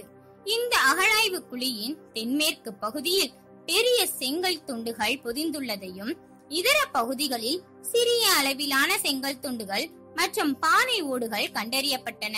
இரண்டாவது மண்ணடுக்கு முழுவதும் சாம்பல் நுண் துகள்கள் மற்றும் களிமண் கலந்த தளர்வான மண் படிவாக காணப்படுகிறது. மேலடுக்கை விட இரண்டாவது அடுக்கில் அதிக அளவில் பானை ஓடுகள் சேகரிக்கப்பட்டன. இவ்விடத்தில் முதல் மண்ணடுக்கிற்கும் இரண்டாவது மண்ணடுக்கிற்கும் இடையே தொடங்கி நான்காவது மண்ணடுக்கு வரை எட்டு உரைகளை கொண்ட உரைக்கிணறு ஒன்று அடையாளம் காணப்பட்டது. இந்த உரைக்கிணற்றிலுள்ள உரைகளானது தொண்ணூத்தி மூணு சென்டிமீட்டர் விட்டமும் முப்பது சென்டிமீட்டர் உயரமும் நான்கு சென்டிமீட்டர் தடிமனும் கொண்டுள்ளன. இந்த இரண்டாம் அடுக்கின் குறைந்தபட்ச பருமன் வடகிழக்கு காலடிக்கில் அறுபது சென்டிமீட்டர் அளவும் அதிகபட்ச பருமன் கிழக்கு பகுதியில் தென்கிழக்கு மூலையில் உள்ள காலடிக்கில் அடையாளம் காணப்படுகிறது. உரைக்கிணற்றின் உயரம் ரெண்டு புள்ளி ஜீரோ இரண்டு மீட்டர் வரை நீள்கிறது. இந்த உரைகளானது ஒன்றன் மீது ஒன்று வைத்து பழுதுபடாமல் உள்ளன. இந்த உரைக்கிணற்றின் உயரமானது அக்காலகட்டத்தில் நிலவிய அதிகளவு நீர் மட்டத்தினை கொண்டிருந்தது என்பதை தெளிவுபடுத்துகிறது. இந்த உரைக்கிணற்றின் அருகில் தெற்கு மற்றும் வடக்கு பகுதிகளில் பள்ளங்கள் தோண்டப்பட்டு இருந்தன இதற்கு அடையாளங்கள் காணப்பட்டன. இந்த உரைக்கிணற்றின் மேற்பரப்பு மற்றும் சுற்றுப்பகுதிகளில் பல்வேறு பொருட்களின் கலவையை கொண்டு தளர்வான மண்ணை கொண்டு மேலிருந்து கீழ்வரை நிரப்பியுள்ளதை காண்கிறோம். மூன்றாவது மண்ணடுக்கின் பருமனானது கிழக்கு பகுதியில் தொண்ணூறு சென்டிமீட்டர் தொடங்கி வடக்கே உரைக்கிணற்றின் அருகே ஒன்னு புள்ளி ஆறு ஆறு மீட்டர் வரை படிந்து காணப்படுகிறது. இந்த அழுக்கானது சற்று கடினமற்ற தன்மையுடன் இளமஞ்சள் நிற களிமண் செங்கல் துண்டுகள் அங்கெங்கும் பொதிந்துள்ளது இது தவிர பானை ஓடுகளும் இடம்பெற்றுள்ளன. இந்த அகழாய்வு குழியின் கிழக்கு வெட்டு பகுதியில் வடகிழக்கு மூலை அருகே பெரிய துளைகளிட்ட மண் பாத்திரம் பொதிந்த நிலையில் கண்டறியப்பட்டது. இப்பாத்திரத்தில் உள்ள துளைகள் ஒரே சீராக ஒரே இடைவெளியில் உள்ளதை காண்கிறோம். இத்துளை இரண்டு சென்டிமீட்டர் விட்டத்துடனும் செங்குத்து மற்றும் பக்கவாட்டங்களில் மூன்று சென்டிமீட்டர் இடைவெளியுடன் இடப்பட்டுள்ளன. இப்பாத்திரத்தின் அடிப்பகுதி வளைவாக செய்யப்பட்டுள்ளது. ஒரு விளக்கின் மீது சாடி போன்றுள்ள இப்பாத்திரத்தின் வாய்ப்பகுதியை கவிழ்த்து இத்துளைகளின் வழியாக அனைத்து திசைகளிலும் ஒளி செல்லும் வகையில் பயன்படுத்தி இருக்க வேண்டும் என்று யூகிக்கலாம். அல்லது சில நேரங்களில் பழங்கள் போன்றவற்றை நொதிக்க வைத்த பின்னர் சாற்றினை பிழிந்து வடிகட்டி வடிகட்டிய பயன்படுத்தி இருக்கலாம். இவற்றில் கரைகள் இருப்பின் அதனை ஆய்வுக்குட்படுத்திய பின்னரே பயன்பாட்டை அறிய முடியும். இவை வடிகால் நீரினை சுத்திகரிக்க வடிகட்டுவதற்கும் பயன்படுத்தி இருக்கலாம். இது போன்ற பாத்திரங்களை ஒன்றின் மீது ஒன்று அடுக்கி ஒவ்வொன்றிலும் மணல் மண் மற்றும் கூழாங்கற்கள் ஆகியவை இட்டு இயற்கை நீரினை சுத்தமாக வடிகட்டுவதற்கு பயன்படுத்தி இருக்கவும் வாய்ப்புள்ளது. இது நீரினை வடிகட்டும் பண்டைய முறையாகும். தற்போது பெரிய ந- நகரங்களில் உள்ள கட்டடங்களில் நடைமுறைப்படுத்தப்படும் மழைநீர் சேகரிக்கும் திட்டம் என்பது பண்டைய வடிகட்டு முறையின் பெரும் சிறப்பினை நினைவூட்டுகிறது. நான்காவது மஞ்சள் நிறம் கலந்த பழுப்பு நிறத்துடன் கூடிய களிமண் மற்றும் சிறிது மண் கலந்த கடினமான மண்ணடுக்காக உள்ளது. இம்மண்ணின் குறைந்தபட்ச பருமன் முப்பத்தி ஆறு சென்டிமீட்டர் அளவுடன் மேற்கு பகுதி வெட்டு தோற்றத்திலும் அதிகபட்ச பருமன் தென் பகுதி வெட்டு பகுதியில் எண்பத்தி எட்டு சென்டிமீட்டர் வரை நீண்டுள்ளதையும் காண்கிறோம். இவ்வடுக்கின் கீழ்ப்பகுதியில் செல்ல செல்ல சில செங்கல் துண்டுகள் மற்றும் பானை ஓடுகள் பரவலாக கிடைக்கின்றன. இந்த அகழாய்வு குழியின் மேற்கு பகுதியில் முப்பத்தி ஆறு சென்டிமீட்டர் ஆழம் கொண்ட சிறு பள்ளம் கண்டறியப்பட்டது. இப்பள்ளத்தில் கீழிருந்து மேலாக பதினான்கு சென்டிமீட்டர் அளவிற்கு செறிவு குறைந்த மண் நிரப்பப்பட்டுள்ளது. இச்சிறு பள்ளத்தின் மீது மரத்தூண் அல்லது கம்பு நட்டு மரத்தினால் ஆன கூரை மீது சுடு மண்ணால் ஆன கூரை ஓடுகள் வேயப்பட்டு இருக்க வேண்டும். அதற்காக இத்துளை ஏற்படுத்தியுள்ளன என்பதை நன்கு உணரலாம். இந்த மண்ணடுக்கிற்கு சற்று கீழே கிழக்கு மற்றும் தென்கிழக்கு பகுதியில் முப்பத்தி ஆறு சென்டிமீட்டர் அளவிலும் மேற்கு பகுதியில் நடுவே தொண்ணூத்தி நான்கு சென்டிமீட்டர் அளவிலும் பல்வேறு அளவுகளில் அதிக அளவிலான கருமை படிந்த பானை ஓடுகள் குவிந்து கிடந்தன. இப்பகுதியில் கருகிய எலும்பு துண்டுகள் போன்றவை காணப்படுவதால் சமையலறையில் இருந்து எஞ்சியவற்றை தூக்கி வீசப்பட்ட குவியலாக இருக்கலாம் என்று கருதப்படுகிறது. அகழாய்வு குழி ஏ ஒன்றின் கீழ் ஒன்னு. இந்த அகழாய்வு குழியின் படிநிலையானது மேல் மண்ணிலிருந்து மூன்றாம் மண்ணடிக்கின் மேல்மட்டம் வரையில் எவ்வித இடர்பாடுகளின்றி காணப்படுகிறது. இந்த அகழாய்வு குழியிலும் மேல் மண்ணானது வேர் நார் தழைகளுடன் களிமண் கலந்து மூன்று சென்டிமீட்டர் முதல் பதிமூன்று சென்டிமீட்டர் வரை மேற்கு வெட்டு தோற்றத்தில் காட்சியளிக்கிறது. இந்த மேல் மண்ணில் தற்காலத்தை சார்ந்த வளையல் துண்டுகளும் அண்மை காலத்தில் பயன்படுத்தப்பட்ட எஞ்சிய பொருட்களும் கலந்துள்ளன. முதல் மண்ணடுக்கின் குறைந்தபட்ச பருமன் மேற்கு வெட்டு தோற்றத்தில் இருபது சென்டிமீட்டர் அளவிலும் அதிகபட்ச பருமன் கிழக்கு வெட்டு தோற்றத்தில் ஐம்பத்தி எட்டு சென்டிமீட்டர் அளவிலும் காணப்படுகிறது. கடினமான களி களிமண் தன்மை கொண்ட இம்மண்ணடுக்கின் இடையிடையே சில செங்கல் துண்டுகளும் பானை ஓடுகளும் பொதிந்துள்ளன. இந்த மண்ணடுக்கு முழுவதும் ஒரே சீராக இருப்பினும் மேற்கு வெட்டு தோற்றத்தின் நடுப்பகுதியில் வேப்ப மரத்தின் வேர்கள் உள்ளதால் சற்று தளர்வாக மண்ணடுக்கு காணப்படுகிறது. இம்மடு இம்மண்ணடுக்கின் பருமனானது மேற்கு வெட்டு தோற்றத்தின் வடமேற்கு மூலையில் குறைந்தபட்ச அறுபத்தி ஆறு சென்டிமீட்டர் அளவிலும் இதே வெட்டு தோற்றத்தின் நடுப்பகுதியில் அதிகபட்ச பருமன் தொண்ணூத்தி இரண்டு சென்டிமீட்டர் அளவிலும் அமைந்துள்ளது. இந்த அகழாய்வு குழியின் கிழக்கு கால காலடுக்கு பகுதியில் மண்ணடுக்கானது கடினமாக அல்லாமல் சற்று மிருதுவாகவும் நிறம் மற்றும் தன்மை ஆகியவை ஒரே அமைப்புடன் உள்ளது. ஆனால் வடக்கு வெட்டு தோற்றத்தின் வடகிழக்கு மூலையில் எஞ்சியவற்றை கொட்டி வைக்கும் பள்ளமாக காணப்படுகிறது. இவற்றில் ஏராளமான பெரிய அளவிலான பானை ஓடுகள் செங்கல் துண்டுகள் கல் ஆகியவை குவியலாக கொட்டப்பட்டுள்ளன. தென்பே தென்மேற்கு மூலையில் வெளிப்படுத்தப்பட்டுள்ள சுடுமண் அடுப்பின் வெளிப்பாகத்தினை சுற்றி கையால் அழுத்தி வணையப்பட்ட வடிவம் காணப்படுகிறது. இந்த அடுப்பின் பின்புறத்தின் நடுவே ஒரு துளை ஒன்று இடப்பட்டுள்ளது. இந்த அகழாய்வு குழியின் தென்கிழக்கு மூலையில் நல்ல களிமண்ணை கொண்ட படிவானது கிழக்கு பகுதியில் ஒன்று புள்ளி ஒன்னு எட்டு மீட்டர் முதல் தெற்கு பகுதியில் எண்பத்தி ஆறு சென்டிமீட்டர் வரை நீண்டுள்ளது. இக்களிமண் பானை வணைவதற்கு பயன்படுத்தப்பட்டிருக்க வேண்டும். இதே போன்ற படிவுகள் வடகிழக்கு காலடுக்கு பகுதியில் மூன்று புள்ளி ஐந்து மீட்டர் அளவில் மேற்கு வெட்டு தோற்றத்தில் கிழக்கு நோக்கி விரிவடைந்து ஒன்று புள்ளி ஒன்னு எட்டு மீட்டர் பருமனுடன் காணப்படுகிறது. இந்த அகழாய்வு குழியின் இரண்டாம் மண்ணடுக்கில் பரவி கிடைக்கின்ற தூய களிமண்ணானது பானை செய்வதற்குரிய மூலப்பொருளாக பயன்படுத்தப்பட்டிருக்க வேண்டும் என்பதை உணர்த்துகின்றது. இந்த அகழாய்வு குழியின் தென்மேற்கு காலடுக்கு பகுதியில் அதிக அளவிலான பானை ஊடுகள் சேர்க்கப்பட்டுள்ளதின் அடிப்படையில் இங்கு பானை தயாரிக்கும் தொழிற்கூடம் செயல்பட்டுள்ளதை உறுதிப்படுத்த முடிகிறது. இம்மண்ணடுக்கு இறுதிப்படிவில் சுடுமண் அடுப்பு ஒன்று கண்டெடுக்கப்பட்டது. இதனுடன் கரிமத்தினாலான பொருட்களும் கரிமமும் பொதிந்துள்ளன. இங்கு படிந்துள்ள கருமை கலந்த பழுப்பு நிறம் கொண்ட மிருதுவான தன்மையை கொண்டுள்ளது. இதே மட்டத்தில் தரை தளத்தினை சமப்படுத்துவதற்கும் மெருகூட்டுவதற்கும் பயன்படுத்தக்கூடிய இரண்டு தேய்க்கும் கற்கள் சேகரிக்கப்பட்டன.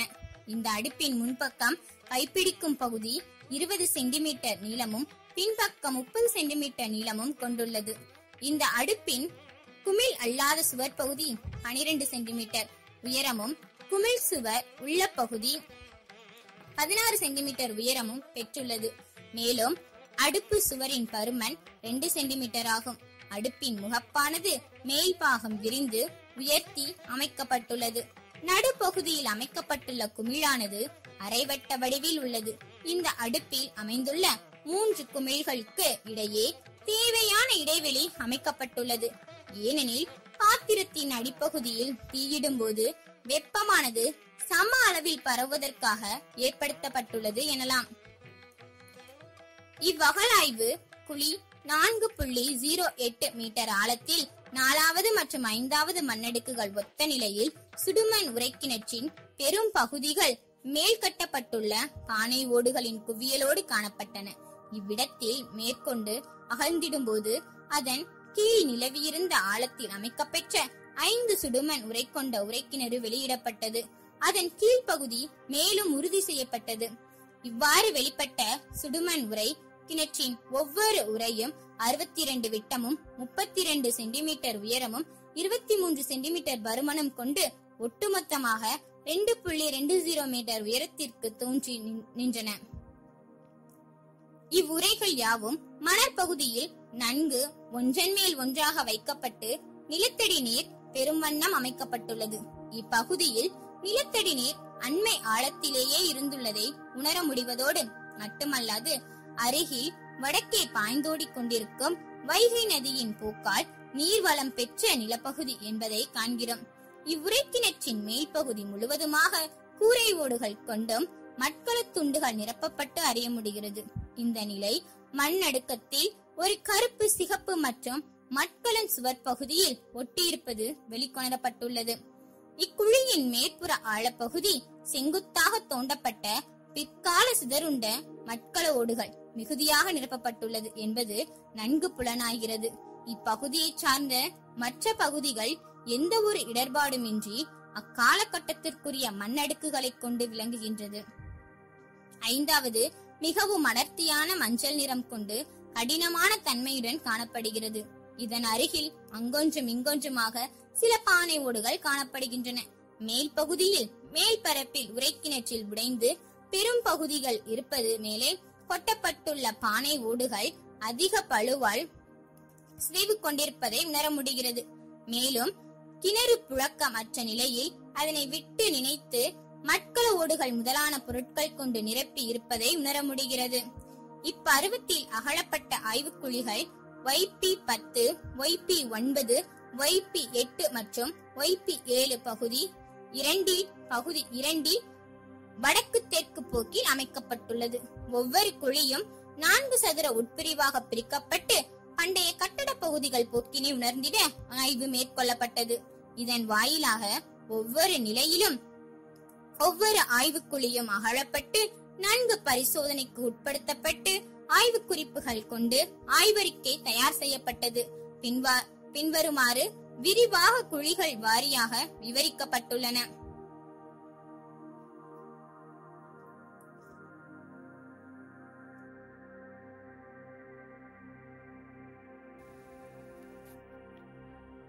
அகழாய்வுக்குழி ஏ இரண்டின் கீழ் நான்காம்.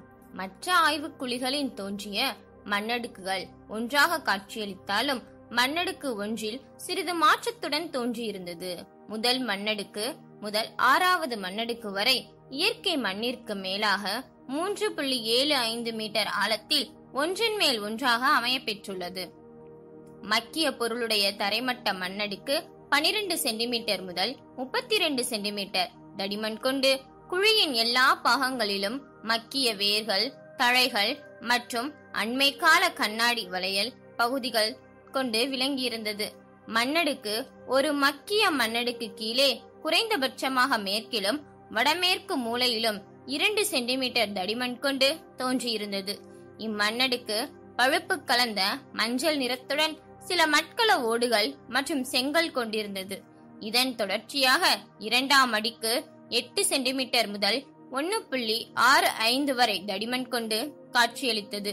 இம்மண்ணடுக்கானது முற்றிலும் சாம்பல் நிறம் கொண்டும் மிருதுவானதாகவும் நிறைய மட்கள பகுதிகள் மற்றும் செங்கல் உடைந்த பகுதிகள் கொண்டும் விளங்கியிருந்தது. மூன்றாம் மண்ணடுக்கானது அகழாய்வு குழியின் எல்லா திசைகளிலும் ஒருங்கே நான்கு சென்டிமீட்டர் முதல் ஒரு சென்டிமீட்டர் வரை தடிமனுடன் காட்சியளித்தது. அதிகபட்ச பருமன் கிழக்கு பகுதியில் காணப்பட்டது. நான்காம் மண்ணடுக்கானது ஆழ்பகுதி தொடர்ச்சியாக சற்று மாறுபட்டு மிக கடினமான களிமண் அகழாய்வு குழியின் வடக்கில் பெரும் பகுதியிலும் கிழக்கு தெற்கு மற்றும் மேற்கு சில பகுதியில் நிலவி இருந்தது. இம்மண்ணடுக்கு உதிரும் தன்மை கொண்டும் சாம்பல் மற்றும் கரித்துகள்கள் பொதிந்தும் நிறைய பானை ஓடுகளை கொண்டு விளங்குகிறது. இதனை அடுத்து மிகவும் கடினமாகவும் மனித எச்சங்கள் அரிதான பொருட்களற்ற மண்ணடுக்கு நான்கு புள்ளி மூன்று ஜீரோ மீட்டர் வரை நிலவி இருந்தது. அதனைத் தொடர்ந்து ஆற்று மணல் கொண்டு திகழும் இயற்கை மண் தோன்றிற்று. அகழாய்வு குழி எண் ஏ மூன்றின் கீழ் இரண்டு. இந்த அகழாய்வு குழியும் மண்ணடுக்குகளை மத்திய மண்ணடுக்கின் கீழ் இயற்கை மண்ணிற்கும் மேலும் ஒருங்கிணைத்து எல்லா திசைகளிலும் பரவியிருந்தது மேற்பரப்புக்கு மத்திய மண்ணடுக்கு எல்லா திசைகளிலும் பரவியிருப்பதாக மேற்கு வடக்கு மற்றும் கிழக்கு திசைகளில் ஏனைய குழிகளில் மக்கிய பொருட்களை கொண்டும் விளங்குகின்றது. இதனை குறைந்தபட்ச பருமன் பதினான்கு சென்டிமீட்டராகவும் அதிகபட்ச பருமன் முப்பத்தி இரண்டு சென்டிமீட்டராகவும் தோன்றுகிறது. இதன் தொடர்ச்சியாக தெற்கு தென்மேற்கு மூலையில் மண்ணடுக்கு முதலாம் அடர்த்தியின் பழுப்பு சிவப்பு நிறம் கொண்டு களிமண் பொதிந்து குறைந்தபட்ச அடர்த்தியாக வடகிழக்கு மூலையில் முப்பத்தி எட்டு சென்டிமீட்டர் பருமனும் அதிகபட்சமாக மேற்கில் தென்மேற்கு மூலையில் அறுபத்தி எட்டு சென்டிமீட்டர் பருமனம் கொண்டு விளங்கியது. மேல் சிறிதளவு பருமனுடன் கூடிய மிருதுவான மண் கலந்த களிமண் தென்மேற்கில் சற்று வேறுபட்டு இருந்தது. மேலும் இம்மண்ணடுக்கின் உடைந்த செங்கல் துண்டுகள் காணப்பட்டன. இம்மண்ணடுக்கை தொடர்ந்து இரண்டாம் மண்ணடுக்கு எல்லா பக்கங்களிலும் மிருதுவான பறக்கும் தன்மை கொண்ட சாம்பல் நிற தன்மையுடன் பானை ஓடுகள் மற்றும் செங்கல் தூசிகளும் பொதிந்திருந்தன. இம்மண்ணடுக்கின் குறைந்தபட்ச பருமன் ஐம்பத்தி ஆறு சென்டிமீட்டராகவும் தெற்கில் தென்கிழக்கு மூலையிலும் அதிகபட்ச பருமன் தொண்ணூத்தி இரண்டு சென்டிமீட்டர் வடமைய பகுதியிலும் தோன்றிற்று. சில பகுதிகளில் மிக மிருதுவான பறக்கும் தன்மை தோன்றியமைக்கு நன்கு பானை ஓடுகளின் துகள்களை மட்கல துகள்கள் காரணியாக அமைந்துள்ளன. மூன்றாம் மண்ணடுக்கானது குழியின் மேற்கு பகுதியில் தென்மேற்கு மூலையில் பதிமூன்று சென்டிமீட்டர் பருமன் கொண்டும் அதற்கு மைய பகுதிகள் அதிகபட்சமாக எழுபத்தி ஐந்து சென்டிமீட்டர் கொண்டும் திகழ்ந்தது. இம்மண்ணடுக்கானது பழுப்பு கலந்த மஞ்சள் நிறம் கொண்டு நிறைய பானை ஓட்டு துண்டுகள் சில செங்கல் துண்டுகள் கூரை ஓடுகள் மற்றும் இங்கொன்றும் அங்கொன்றுமாக சில எலும்புகள் திகழ்ந்தது. குறிப்பாக இம்மண்ணடுக்கின் கீழ்ப்பரப்பு பகுதியில் மேற்கு வடக்கு கிழக்கில் அதிகப்படியான தேவையற்ற பொருட்கள் கொண்டு நிரப்பப்பட்டு உள்ள கிணற்றின் பகுதி ஒன்று புள்ளி ஏழு நான்கு மீட்டர் ஆழத்தில் தோன்றிற்று. இதனை அடுத்துள்ள நான்காம் மண்ணடுக்கில் மிகுந்த குறைந்த பானை ஓடுகள் தொடர்ச்சியாக நிரப்பப்பட்டுள்ளதால் தொடர்ச்சியாக மண்ணடுக்கு சில பகுதிகளில் தோன்றிற்று. இம்மண்ணடுக்கு முற்றிலும் கடினமான கெட்டியான களிமண்ணுடன் பழுப்பு மஞ்சள் நிறம் கொண்டு திகழ்கிறது. இதன் அதிகபட்ச பருமன் ஒன்று புள்ளி ஐந்து ஐந்து சென்டிமீட்டர். குறைந்தபட்ச பருமன் அறுபத்தி ஆறு சென்டிமீட்டர் அளவில் இக்குழியின் தென்மேற்கு பகுதியில் காணப்படுகிறது. மேலும் குழியின் தென்மேற்கு பகுதியில் சிறிது உடைப்பட்ட கோள வடிவமுடைய மூக்குடைய பானை ஒன்று வாய் கவிழ்க்கப்பட்ட நிலையில் இரண்டாம் மண்ணடுக்கின் தொடர்ச்சியாக கண்டெடுக்கப்பட்டுள்ளது. இதனை அடுத்து சிறிது ஆழத்தில் வேறொரு அகழ்வாய் செந்நிற பூச்சுடைய கிண்ண அதிக சிதைந்துள்ள நிலையில் உரைக்கிணற்றின் அடிப்பகுதியில் தென்பட்டன. அகழாய்வு குழி எண் ஒய்பி ஏழின் கீழ் இரண்டு. ஒய்பி ஏழின் கீழ் இரண்டு அகழாய்வு குழியின் வடகிழக்கு கால் பகுதியில் அகழாய்வு பணி முறையாக நடைபெற்று வந்தது. முப்பத்தி ஐந்து சென்டிமீட்டர் ஆழத்தில் ஒரு சிறிய பொத்தான் வடிவ செப்பு காசு காரைகளுடன் கண்டெடுக்கப்பட்டது. இதனுடன் சிறு செப்பு கிண்ணத்தின் சில பகுதிகளும் மீட்கப்பட்டுள்ளன. மேலும் சோதனைக்கு உட்படுத்தி தொடர்ச்சியாக கூடுதலாக பொருட்கள் கிடைக்க வாய்ப்பிருக்கும் என எண்ணி அகழாய்வு முறையாக தொடரப்பட்டது. இவ்விதம் தொடரும் போது செங்கல் கட்டட பகுதியின் தோற்றம் இக்குழியின் வடபுறத்தில் காணப்பட்டது. மேலும் அதன் பக்கவாட்டில் பிற்பகுதியில் அக்கட்ட பகுதியின் ஆராய்வு பணியானது சமகால பண்பாடு எச்சங்களாக விளங்கக்கூடிய பானைகள் மற்றும் பிற தொல்பொருட்கள் பெற்றிடும் வகையில் அகழாய்வு தொடர்ந்தது. இக்குழியின் விட்டுத் தோற்றத்தில் உடைந்த வட்டச் சில்லுகளும் கண்டெடுக்கப்பட்டன. மேலும் நன்கு வடிவமைக்கப்பட்ட அதன் விளிம்பு வழவழப்பாகவும் மேல் பகுதி சமமாகவும் மெருகுடன் கூடிய வட்டச்சில்லும் கண்டெடுக்கப்பட்டன.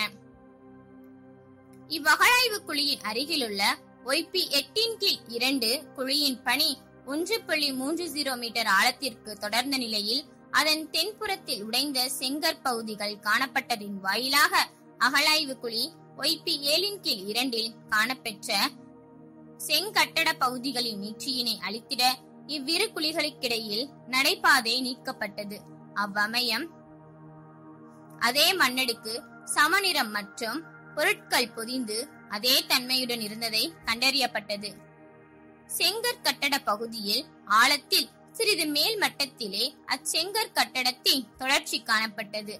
மிகவும் கவனத்துடன் கட்டட பகுதியின் தொடர்ச்சி அறியப்பட்டு படிப்படியாக அகழாய்வு பணி நிகழ்த்தப்பட்ட நிலையில் மேலடுக்கு செங்கற் பகுதிகள் மட்டுமின்றி அடிப்பகுதி செங்கர் நிலை வரை வெளிக்கொணரப்பட்டது. ஒய்பி ஏழின் கீழ் இரண்டில் தோன்றிய செங்கற் கட்டட பகுதியின் நீச்சி கண்டெடுக்கப்பட்டது. ஒரு உந்துதலை ஏற்படுத்துகிறது. கட்டட பகுதி கண்டறியப்பட்ட போது இதன் தொடர்ச்சியை வடகிழக்காக நீளும் என்று கணிக்கப்பட்டது. அதே போன்று கட்டட பகுதி மூளைவிட்டமாக வடகிழக்காக நீண்டிருந்தது. ஆய்வின் பரிமாணத்தை மெருகேற்றுவதாகவே அமைந்துள்ளது. இச்செங்கல் கட்டட பகுதியின் அடியில் அமைக்கப்பட்ட செங்கற்களின் அடிப்பகுதி பலமாக நீண்டு அடுக்கப்பட்டிருந்தது. கட்டட மேல்பகுதியினை எடையை தாங்குவதற்காக உறுதியாகவே அமைக்கப்பட்டுள்ளது. இக்கட்டட பகுதியின் வடபகுதியில் பந்தல்கள் அமைப்பதற்கான கூரைக்குழி தடயங்கள் காணப்பட்டன.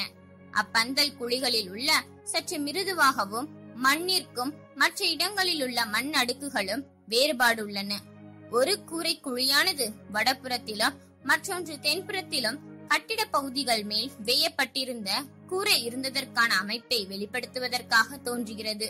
மேலும் பிற அகழாய்வுகளில் தழைப்பகுதியில் இரு துளைகள் மற்றும் விரலால் அழுத்தி உருவாக்கப்பட்ட பள்ளங்கள் கொண்ட சுடுமண் கூரை ஓடுகள் கிடைக்கப் பெற்றுள்ளன இவற்றோடு வடபகுதிக்கு அருகே நன்கு குழைக்கப்பட்ட மண் கொண்டு மெழுகிய தரைப்பகுதி அகழாய்வு குழி எண் ஒய்பி எட்டின் கீழ் நான்கில் இதே ஆழத்தில் காணப்பெற்றது.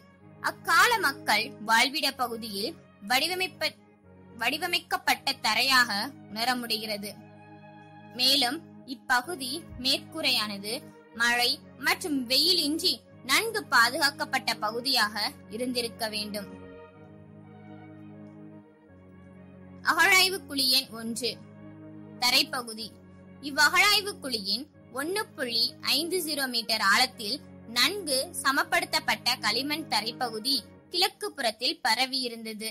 இக்குழியின் மேற்புற பரப்பில் சற்று கீழ் ஆழத்தில் இத்தரையானது நீண்டிருந்துள்ளதை காண முடிந்தது.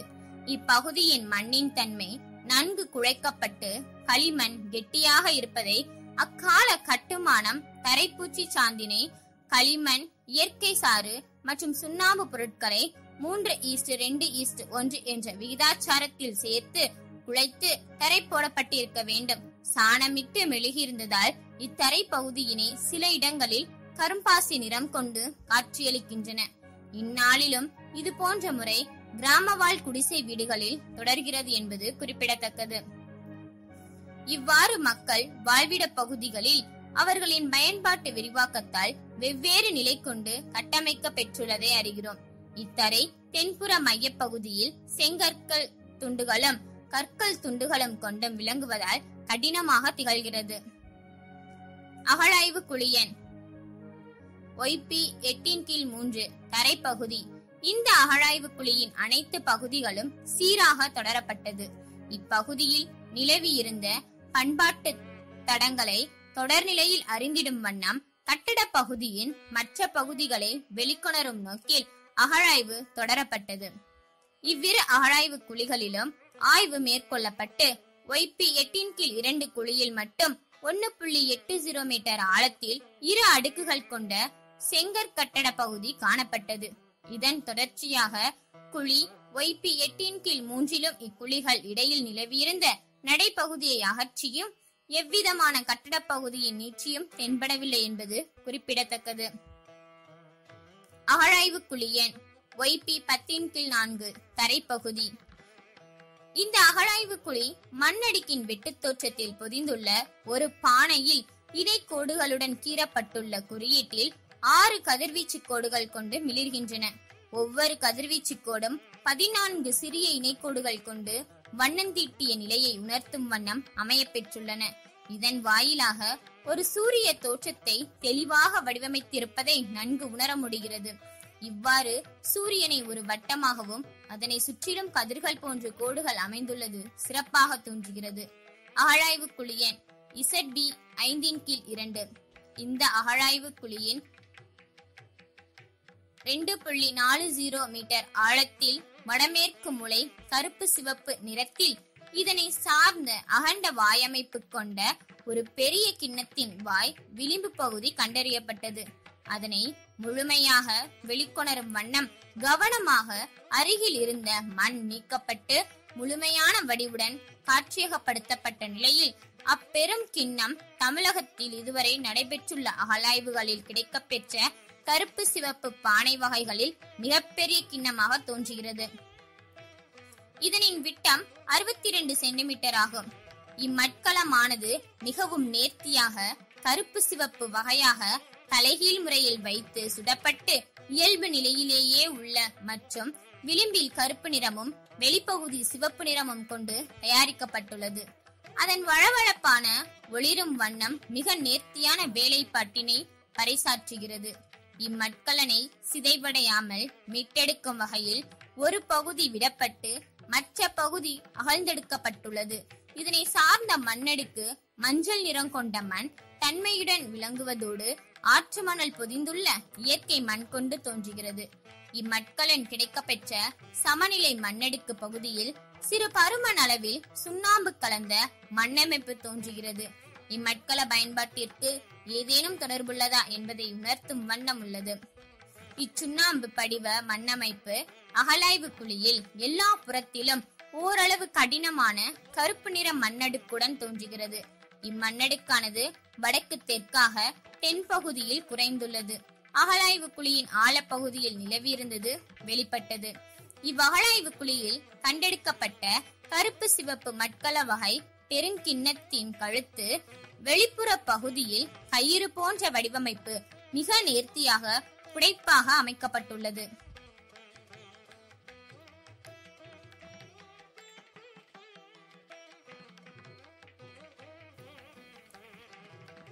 செங்கற்கட்டடம் தெற்குப்புற மண்ணடுக்கு தோற்றம் வடக்குப்புற மண்ணடுக்கு தோற்றம். இவ்விரு அகழாய்வு குழிகளிலும் ஆய்வு மேற்கொள்ளப்பட்டு ஒய்பி எட்டின் கீழ் இரண்டு குழியில் மட்டும் ஒன்னு புள்ளி எட்டு ஜீரோ மீட்டர் ஆழத்தில் இரு அடுக்குகள் கொண்ட வாழ்விடங்களை செம்மையாக வடிவமைத்து செங்கற்கட்டட பகுதி காணப்பட்டது. இதன் தொடர்ச்சியாக குழி ஒய்பி எட்டின் கீழ் மூன்றிலும் முடிகிறது. இக்குழிகளிடையே நிலவியிருந்த நடைப்பகுதியை அகற்றியும் எந்தவிதமான இதன் கட்டட பகுதியின் நீற்றியும் தென்படவில்லை என்பது குறிப்பிடத்தக்கது.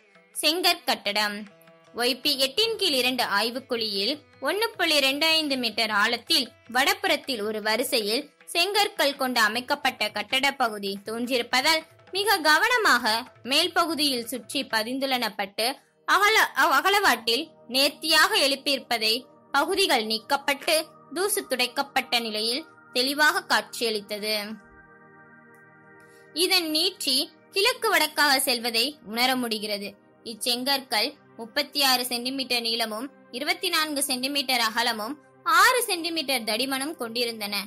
இந்த அளவுகள் தொல்லியல் துறை மேற்கொண்ட அகலாய்வில் கண்டெடுக்கப்பட்டுள்ளன. கட்டட பகுதியில் நிலவிருந்த செங்கல் அளவுகளை ஒத்த அளவுகளை கொண்டுள்ளது என்பது சமகால கட்டடப்பாணியை பறைசாற்றுகிறது. இதன் வாயிலாக இவ்வூர் பண்டைய கால கட்டிடத்தில் குறிப்பிட்ட சில பகுதிகளில் ஒரே காலநிலை கட்டட அமைப்பை பின்பற்றியுள்ளதை நன்கு உணரலாம். அக்கால கட்டடத்தில் மக்கள் தங்கள் வாழ்விடங்களை செம்மையாக வடிவமைத்து வாழ்ந்திருக்கிறார்கள் என்பதையும் அறிய முடிகிறது.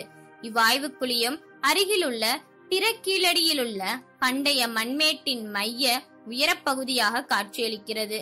இதன் தொடர்ச்சியாக கிழக்கிலும் வடக்கிலும் கட்டட கட்டுமான பகுதிகள் தோன்றிய காலநிலை ஈராயிரம் ஆண்டுகள் முற்பட்டதாக தெரிகிறது. மேலும் இக்குழியில் உள்ள கட்டடம் மேல்மட்டத்தில் சிதைவுண்ட செங்கற்துகள்கள் துண்டுகள் காணப்படுவதால் கட்டடத்தின் இடிபாடு நிலையை அறிய முடிகிறது. இக்கட்டடத்தின் தொடர்ச்சியாக அடுத்த நிலை செங்கற்கள் அடியில் கண்டெடுக்கப்பட்டு அகலவாட்டில் நேர்த்தியாக எழுதியிருப்பதை காண முடிகிறது. அப்படி அமைந்திருந்த செங்கற்கள் மேலடுக்குகளில் உள்ள செங்கற்களின் மூன்றில் இரண்டு பங்கு அளவுடன் சதுர வடிவத்துடன் காட்சியளித்தன. இச்செங்கல் கட்டட பகுதி மேலடுக்கில் நான்கு செவ்வக வடிவ செங்கற்களும் அதன் கீழ் தொடர்ச்சியாக ஏழு சதுர வடிவ உடைக்கப்பட்ட செங்கற்கள் கொண்டு அமைக்கப்பெற்ற குழியின் வடகிழக்கு புறத்தில் தோன்றிற்று. இவ்வடிவமைப்பானது ஒரு நேர்த்தியான கட்டட பாணி. அக்கால கட்டத்தில் நிலவியிருந்ததை உணர்த்துகிறது. மிருதுமண் பூச்சித்தரை. அகழாய்வு குழியன் ஒய்பி ஏழின் கீழ் ஒன்றில் முப்பத்தி நான்கு சென்டிமீட்டர் ஆழத்தில் வடபகுதியில் அடர்த்தியான மண்ணடுக்குடனும் தென்புறத்தில் மிருதுவாகவும் தோன்றியது. இதனின் நிறமும் வேறுபட்டு கருஞ்சிவப்பு மஞ்சளுடன் காட்சியளித்தது. இதனைத் தொடர்ந்து அகழ்ந்த பொழுது தென்பகுதியில் மிகவும் மிருதுவான மண் கொண்டு பூசப்பட்ட தரைப்பகுதி ஒரு மீட்டர் நீளத்திற்கு பரவியிருந்ததை காண முடிந்தது. இது போன்று மிருதுவான மண் கொண்ட பூச்சித்தரை பகுதி இக்குழியின் மற்றொரு பகுதியான ஒய்பி ஏழின் கீழ் ஒன்றாம் இதே தனி சிறப்பியலை வெளிப்படுத்துவதாகவே ஆழத்தில் காணப்பெற்றது. அதன் தொடர்ச்சி வடிவமைக்க பெற்றது இத்தரைப்பகுதி மக்கள் வாழ்விடங்களில் சிறப்பு பகுதியாக பயன்பட்டிருக்க வேண்டும். மேலும் இம்மிருதுவான பூச்சித்தரை ஆறு சென்டிமீட்டர் அளவிற்கு நேர்த்தியான வண்டல் மண் கொண்டு செவ்வனே அமைக்கப்பட்டு குறிப்பிட்ட பகுதியில் மட்டும் தோன்றும் இவ்வமைப்பு தனி சிறப்பியலை வெளிப்படுத்துவதாகவே கருதப்படுகிறது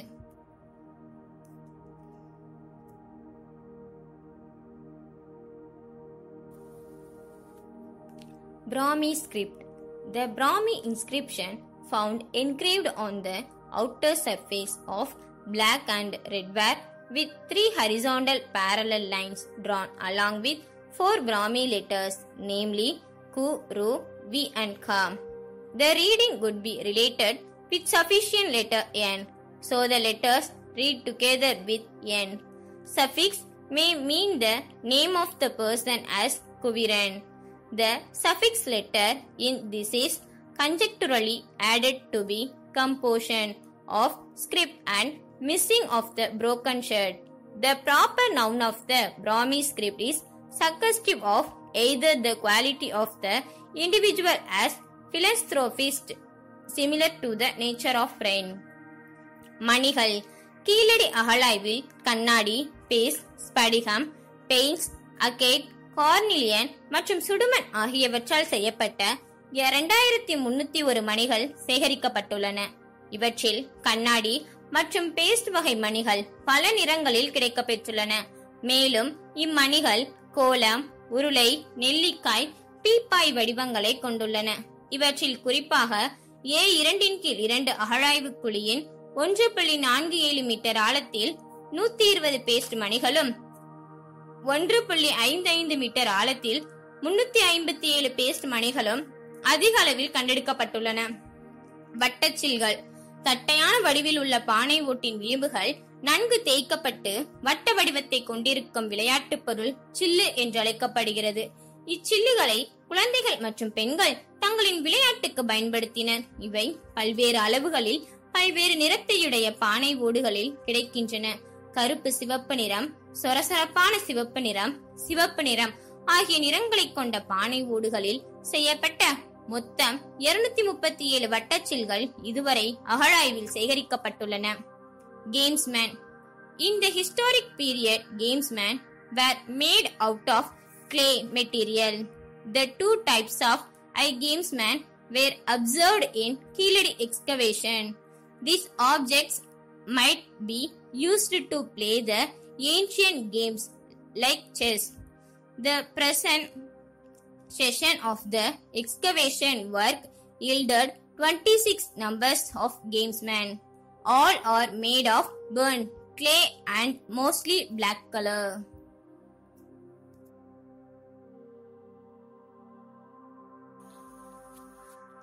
இரும்பு பொருட்கள் இவ்வகழாய்வில் இரும்பு ஆணிகள் மற்றும் கத்திகளின் பாகங்கள் குறிப்பிடத்தக்க அளவில் கண்டெடுக்கப்பட்டுள்ளன இவை பெரும்பாலும் உடைந்த நிலையிலேயே உள்ளன. கிடைக்க பெற்றுள்ள ஐம்பது இரும்பு பொருட்களில் பெரும்பாலானவை ஆணிகள் மற்றும் கத்திகள் ஆகியவையே. ஏனைய இரும்பு பொருட்களின் வடிவம் மற்றும் பயன்பாடு குறித்து அடையாளம் காண இயலவில்லை. காதணிகள். இந்த அகழாய்வில் இரண்டு வகையான சுடுமண் காதணிகள் கண்டறியப்பட்டன. ஒன்று இ நல்ல களிமண்ணை கொண்டு வட்ட வடிவில் தட்டையாகவும் சற்று தடிமனாகவும் மேல்புறத்தின் நடுப்பகுதியினை சுற்றி சிறிது பள்ளமான தடத்தை ஏற்படுத்தி காது துளையில் பொருந்தும் வண்ணம் தீயிலிட்டு சுடப்பட்டு செய்யப்பட்ட காதணி. மற்றொன்று அதே போன்று தட்டையான நடுப்பகுதியில் துளையிடப்பட்ட காதணியாகும்.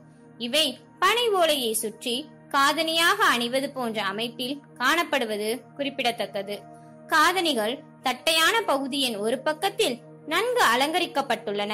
ஒரு காதணியில் ழ வடிவம் போன்ற அமைப்பில் அலங்கரிக்கப்பட்டுள்ளது. இந்த அகழாய்வில் மொத்தம் பதினான்கு சுடுமண் காதணிகள் சே- சேகரிக்கப்பட்டுள்ளன. தக்களி. தக்களி என்பது சுடுமண்ணால் கோல வடிவில் செய்யப்பட்டு நடுவே துளையிடப்பட்டு சுற்றக்கூடிய அமைப்பினை கொண்ட சக்கரமாகும். இது சிறிய அளவில் குறைந்த எடையை கொண்டிருக்கும். இந்த தக்களி பருத்தியினை நூலாக திரிப்பதற்கு பயன்படுத்தும் கருவியாகும். வளையல்கள். இந்த ஆண்டு கீழடியில் மேற்கொள்ளப்பட்ட அகழாய்வில் உடைந்த வளையல்களின் இருபத்தி மூணு பாகங்கள் கிடைத்துள்ளன.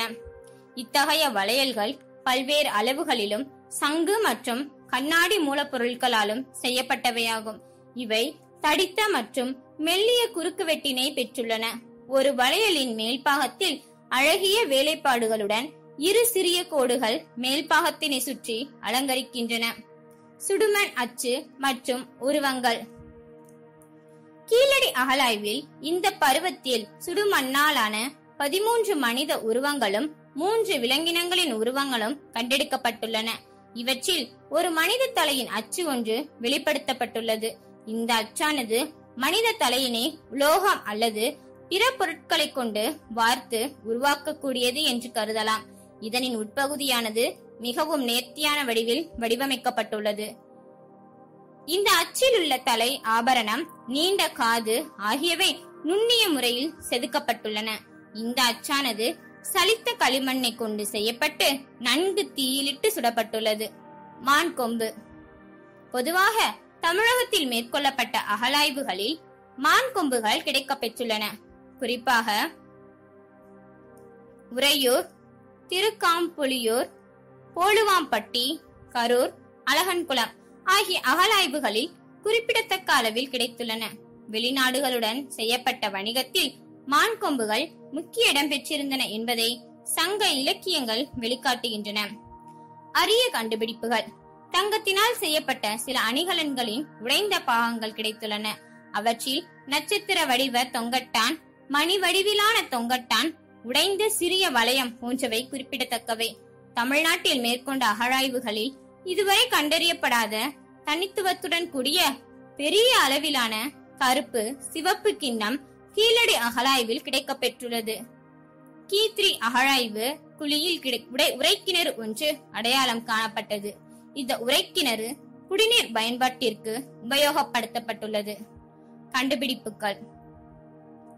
கீழடி அகழாய்வு பண்பாட்டு கூறுகளை வெளிக்கொணரும் செங்கல் கட்டுமானங்கள் உரைக்கிணறுகள் கூரை ஓடுகள் மற்றும் அரிய தொல்பொருட்களான தங்க அணிகலன்களின் பாகங்கள் செம்பினாலான பொருட்கள் இரும்பு பயன்பாட்டு பொருட்கள் சுடுமண்ணாலான ஆட்டக்காய்கள் விளையாட்டு சில்லுகள் காதணிகள் தக்களிகள் சுடுமண்ணாலான மணிகள் கண்ணாடி மணிகள் மதிப்பு குறைவு மணிகள் பானை ஓடு வகைகளான கருப்பு சிவப்பு நிற பானை ஓடுகள் கருப்பு நிற ஓடுகள் பளபளப்பான சிவப்பு நிற பானை ஓடுகள் சிவப்பு நிற பானை ஓடுகள் ரோம் நாட்டை சார்ந்த ரவுலட்டட் பானை ஓடுகளின் சாயல் கொண்ட பானை ஓடுகள் ஆகியவை கண்டெடுக்கப்பட்டுள்ளன. பானை வரைவதற்கு முன்னர் மற்றும் பின்னர் வரையப்பட்ட குறியீடுகள் தமிழ் எழுத்து பொறிக்கப்பட்ட பானை ஓடுகள் போன்றவையும் கண்டெடுக்கப்பட்டன. இவை அனைத்தும் இந்த பகுதியில் வாழ்ந்த தமிழர்களின் பண்டைய நாகரிகத்தின் பண்பாட்டு செழிப்பினை வெளிப்படுத்துகிறது. கீழடியில் மிகப்பெரிய நிலப்பரப்பில் அமைந்துள்ள பண்பாட்டு மேடானது தென்னை மரங்களால் பாதுகாத்து வரப்பட்டுள்ளது. இரண்டாயிரத்தி ஐநூறு ஆண்டுகளுக்கு முந்தைய பண்டைய சமுதாயத்தின் பண்பாட்டு வளமையை மறைத்து வைத்துள்ள கீழடியினை ஆராய்வு செய்து வெளிக்கொணர்வது அவசியமாகிறது. பண்பாட்டு காலம் பகுப்பு முறைகள். கீழடியில் மேற்கொண்ட அகலாய்வில் மண்ணடுக்குகளை கொண்டு இரண்டு விதமான பண்பாட்டு கூறுகள் வெளிப்படுத்தப்பட்டுள்ளன. இந்த அகழாய்வில் கண்டெடுக்கப்பட்டுள்ள பானை ஓடுகள் கூரை ஓடுகள் மற்றும் தொல்பொருட்களை கொண்டு கீழடியின் பண்பாட்டு காலத்தை மூன்று காலகட்டங்களாக பிரிக்கலாம். முதல் காலகட்டம். இக்காலகட்டத்தில் நேர்த்தியான கருப்பு சிவப்பு பானை ஓடுகள் சிவப்பு நிற பானை ஓடுகள் கருப்பு நிற பானை ஓடுகள் மற்றும் பளபளப்பான சிவப்பு நிற பானை ஓடுகள் போன்றவை கிடைத்துள்ளன. இக்காலகட்டத்தில் கட்டுமான செயல்பாடுகள் இருந்ததற்கு சான்றாக செங்கல் கட்டுமான எச்சங்கள் உரைக்கிணர் ஆகியவை கிடைக்கப்பெற்றுள்ளன. இரண்டாம் காலகட்டம். முதல் காலகட்டத்தில் கிடைக்கப்பெற்ற பானை ஓடுகள் இரண்டாம் பண்பாட்டின் கீழ் மண்ணடுக்குகளில் கிடைக்கின்றன. ஆனால் இவற்றின் தரம் மற்றும் தயாரிப்பு நடுத்தரமானவையாக உள்ளன. மேலும் இருதுளை இடப்பட்ட கூரை ஓடுகள் முக்கிய தொல்பொருட்களான சுடுமண் காதணிகள் சுடுமண் மற்றும் எலும்பினால் ஆன ஆட்டக்காய்கள் கண்ணாடி வளையல் துண்டுகள் சங்கினால் செய்யப்பட்ட வளையல் துண்டுகள் மதிப்பு குறைவான மணிகள் சேகரிக்கப்பட்டன. இவை மட்டுமின்றி தக்களி செம்பு பொருட்கள் செப்பு காசு முத்திரையிட்ட வெள்ளிக்காசு ஆகியவை இப்பண்பாட்டு அடுக்கில் கிடைத்துள்ளன. மேலும் தந்தத்தினால் ஆன பகடைக்காய் சுடர்முனை கொண்ட எலும்புகள் விளையாட்டு சில்லுகள் பானை ஓடுகள் இரும்பு பொருட்கள் ஆகியவை கிடைக்கப்பெற்றுள்ளன. மூன்றாம் காலகட்டம். பளபளப்பான சிவப்பு நிற ஓடுகள் சிவப்பு நிற பானை ஓடுகள் கண்ணாடி மணிகள் போன்றவை இக்காலகட்டத்தின் மண்ணடுக்கின் மேலடுக்கில் கிடைத்துள்ளன இதன் அடிப்படையில் கீழடியில் முதல் பண்பாட்டு காலம் கிமு ஆறாம் நூற்றாண்டு முதல் கிமு மூன்றாம் நூற்றாண்டு வரை என அறிவியல் அடிப்படையில் நிறுவப்பட்டுள்ளது. இரண்டாவது பண்பாட்டு காலம் கிமு மூன்றாம் நூற்றாண்டு முதல் கிபி நாலு ஐந்தாம் நூற்றாண்டை சேர்ந்ததாகும். மூன்றாவது பண்பாட்டு காலம் கிமு நாலு ஐந்தாம் நூற்றாண்டு தொடங்கி முதல் கிபி பதினொன்னு பனிரெண்டாம் நூற்றாண்டை சார்ந்ததாக உள்ளது. எனவே காலத்தால் முந்தைய முதல் கால கட்டமானது கீழ் மண்ணடுக்கிலும் அதனை அடுத்த இரு காலகட்டங்களும் கீழ் அடுக்குகளின் மீது ஒன்றன் மீது ஒன்றாக அமைய பெற்றுள்ளது.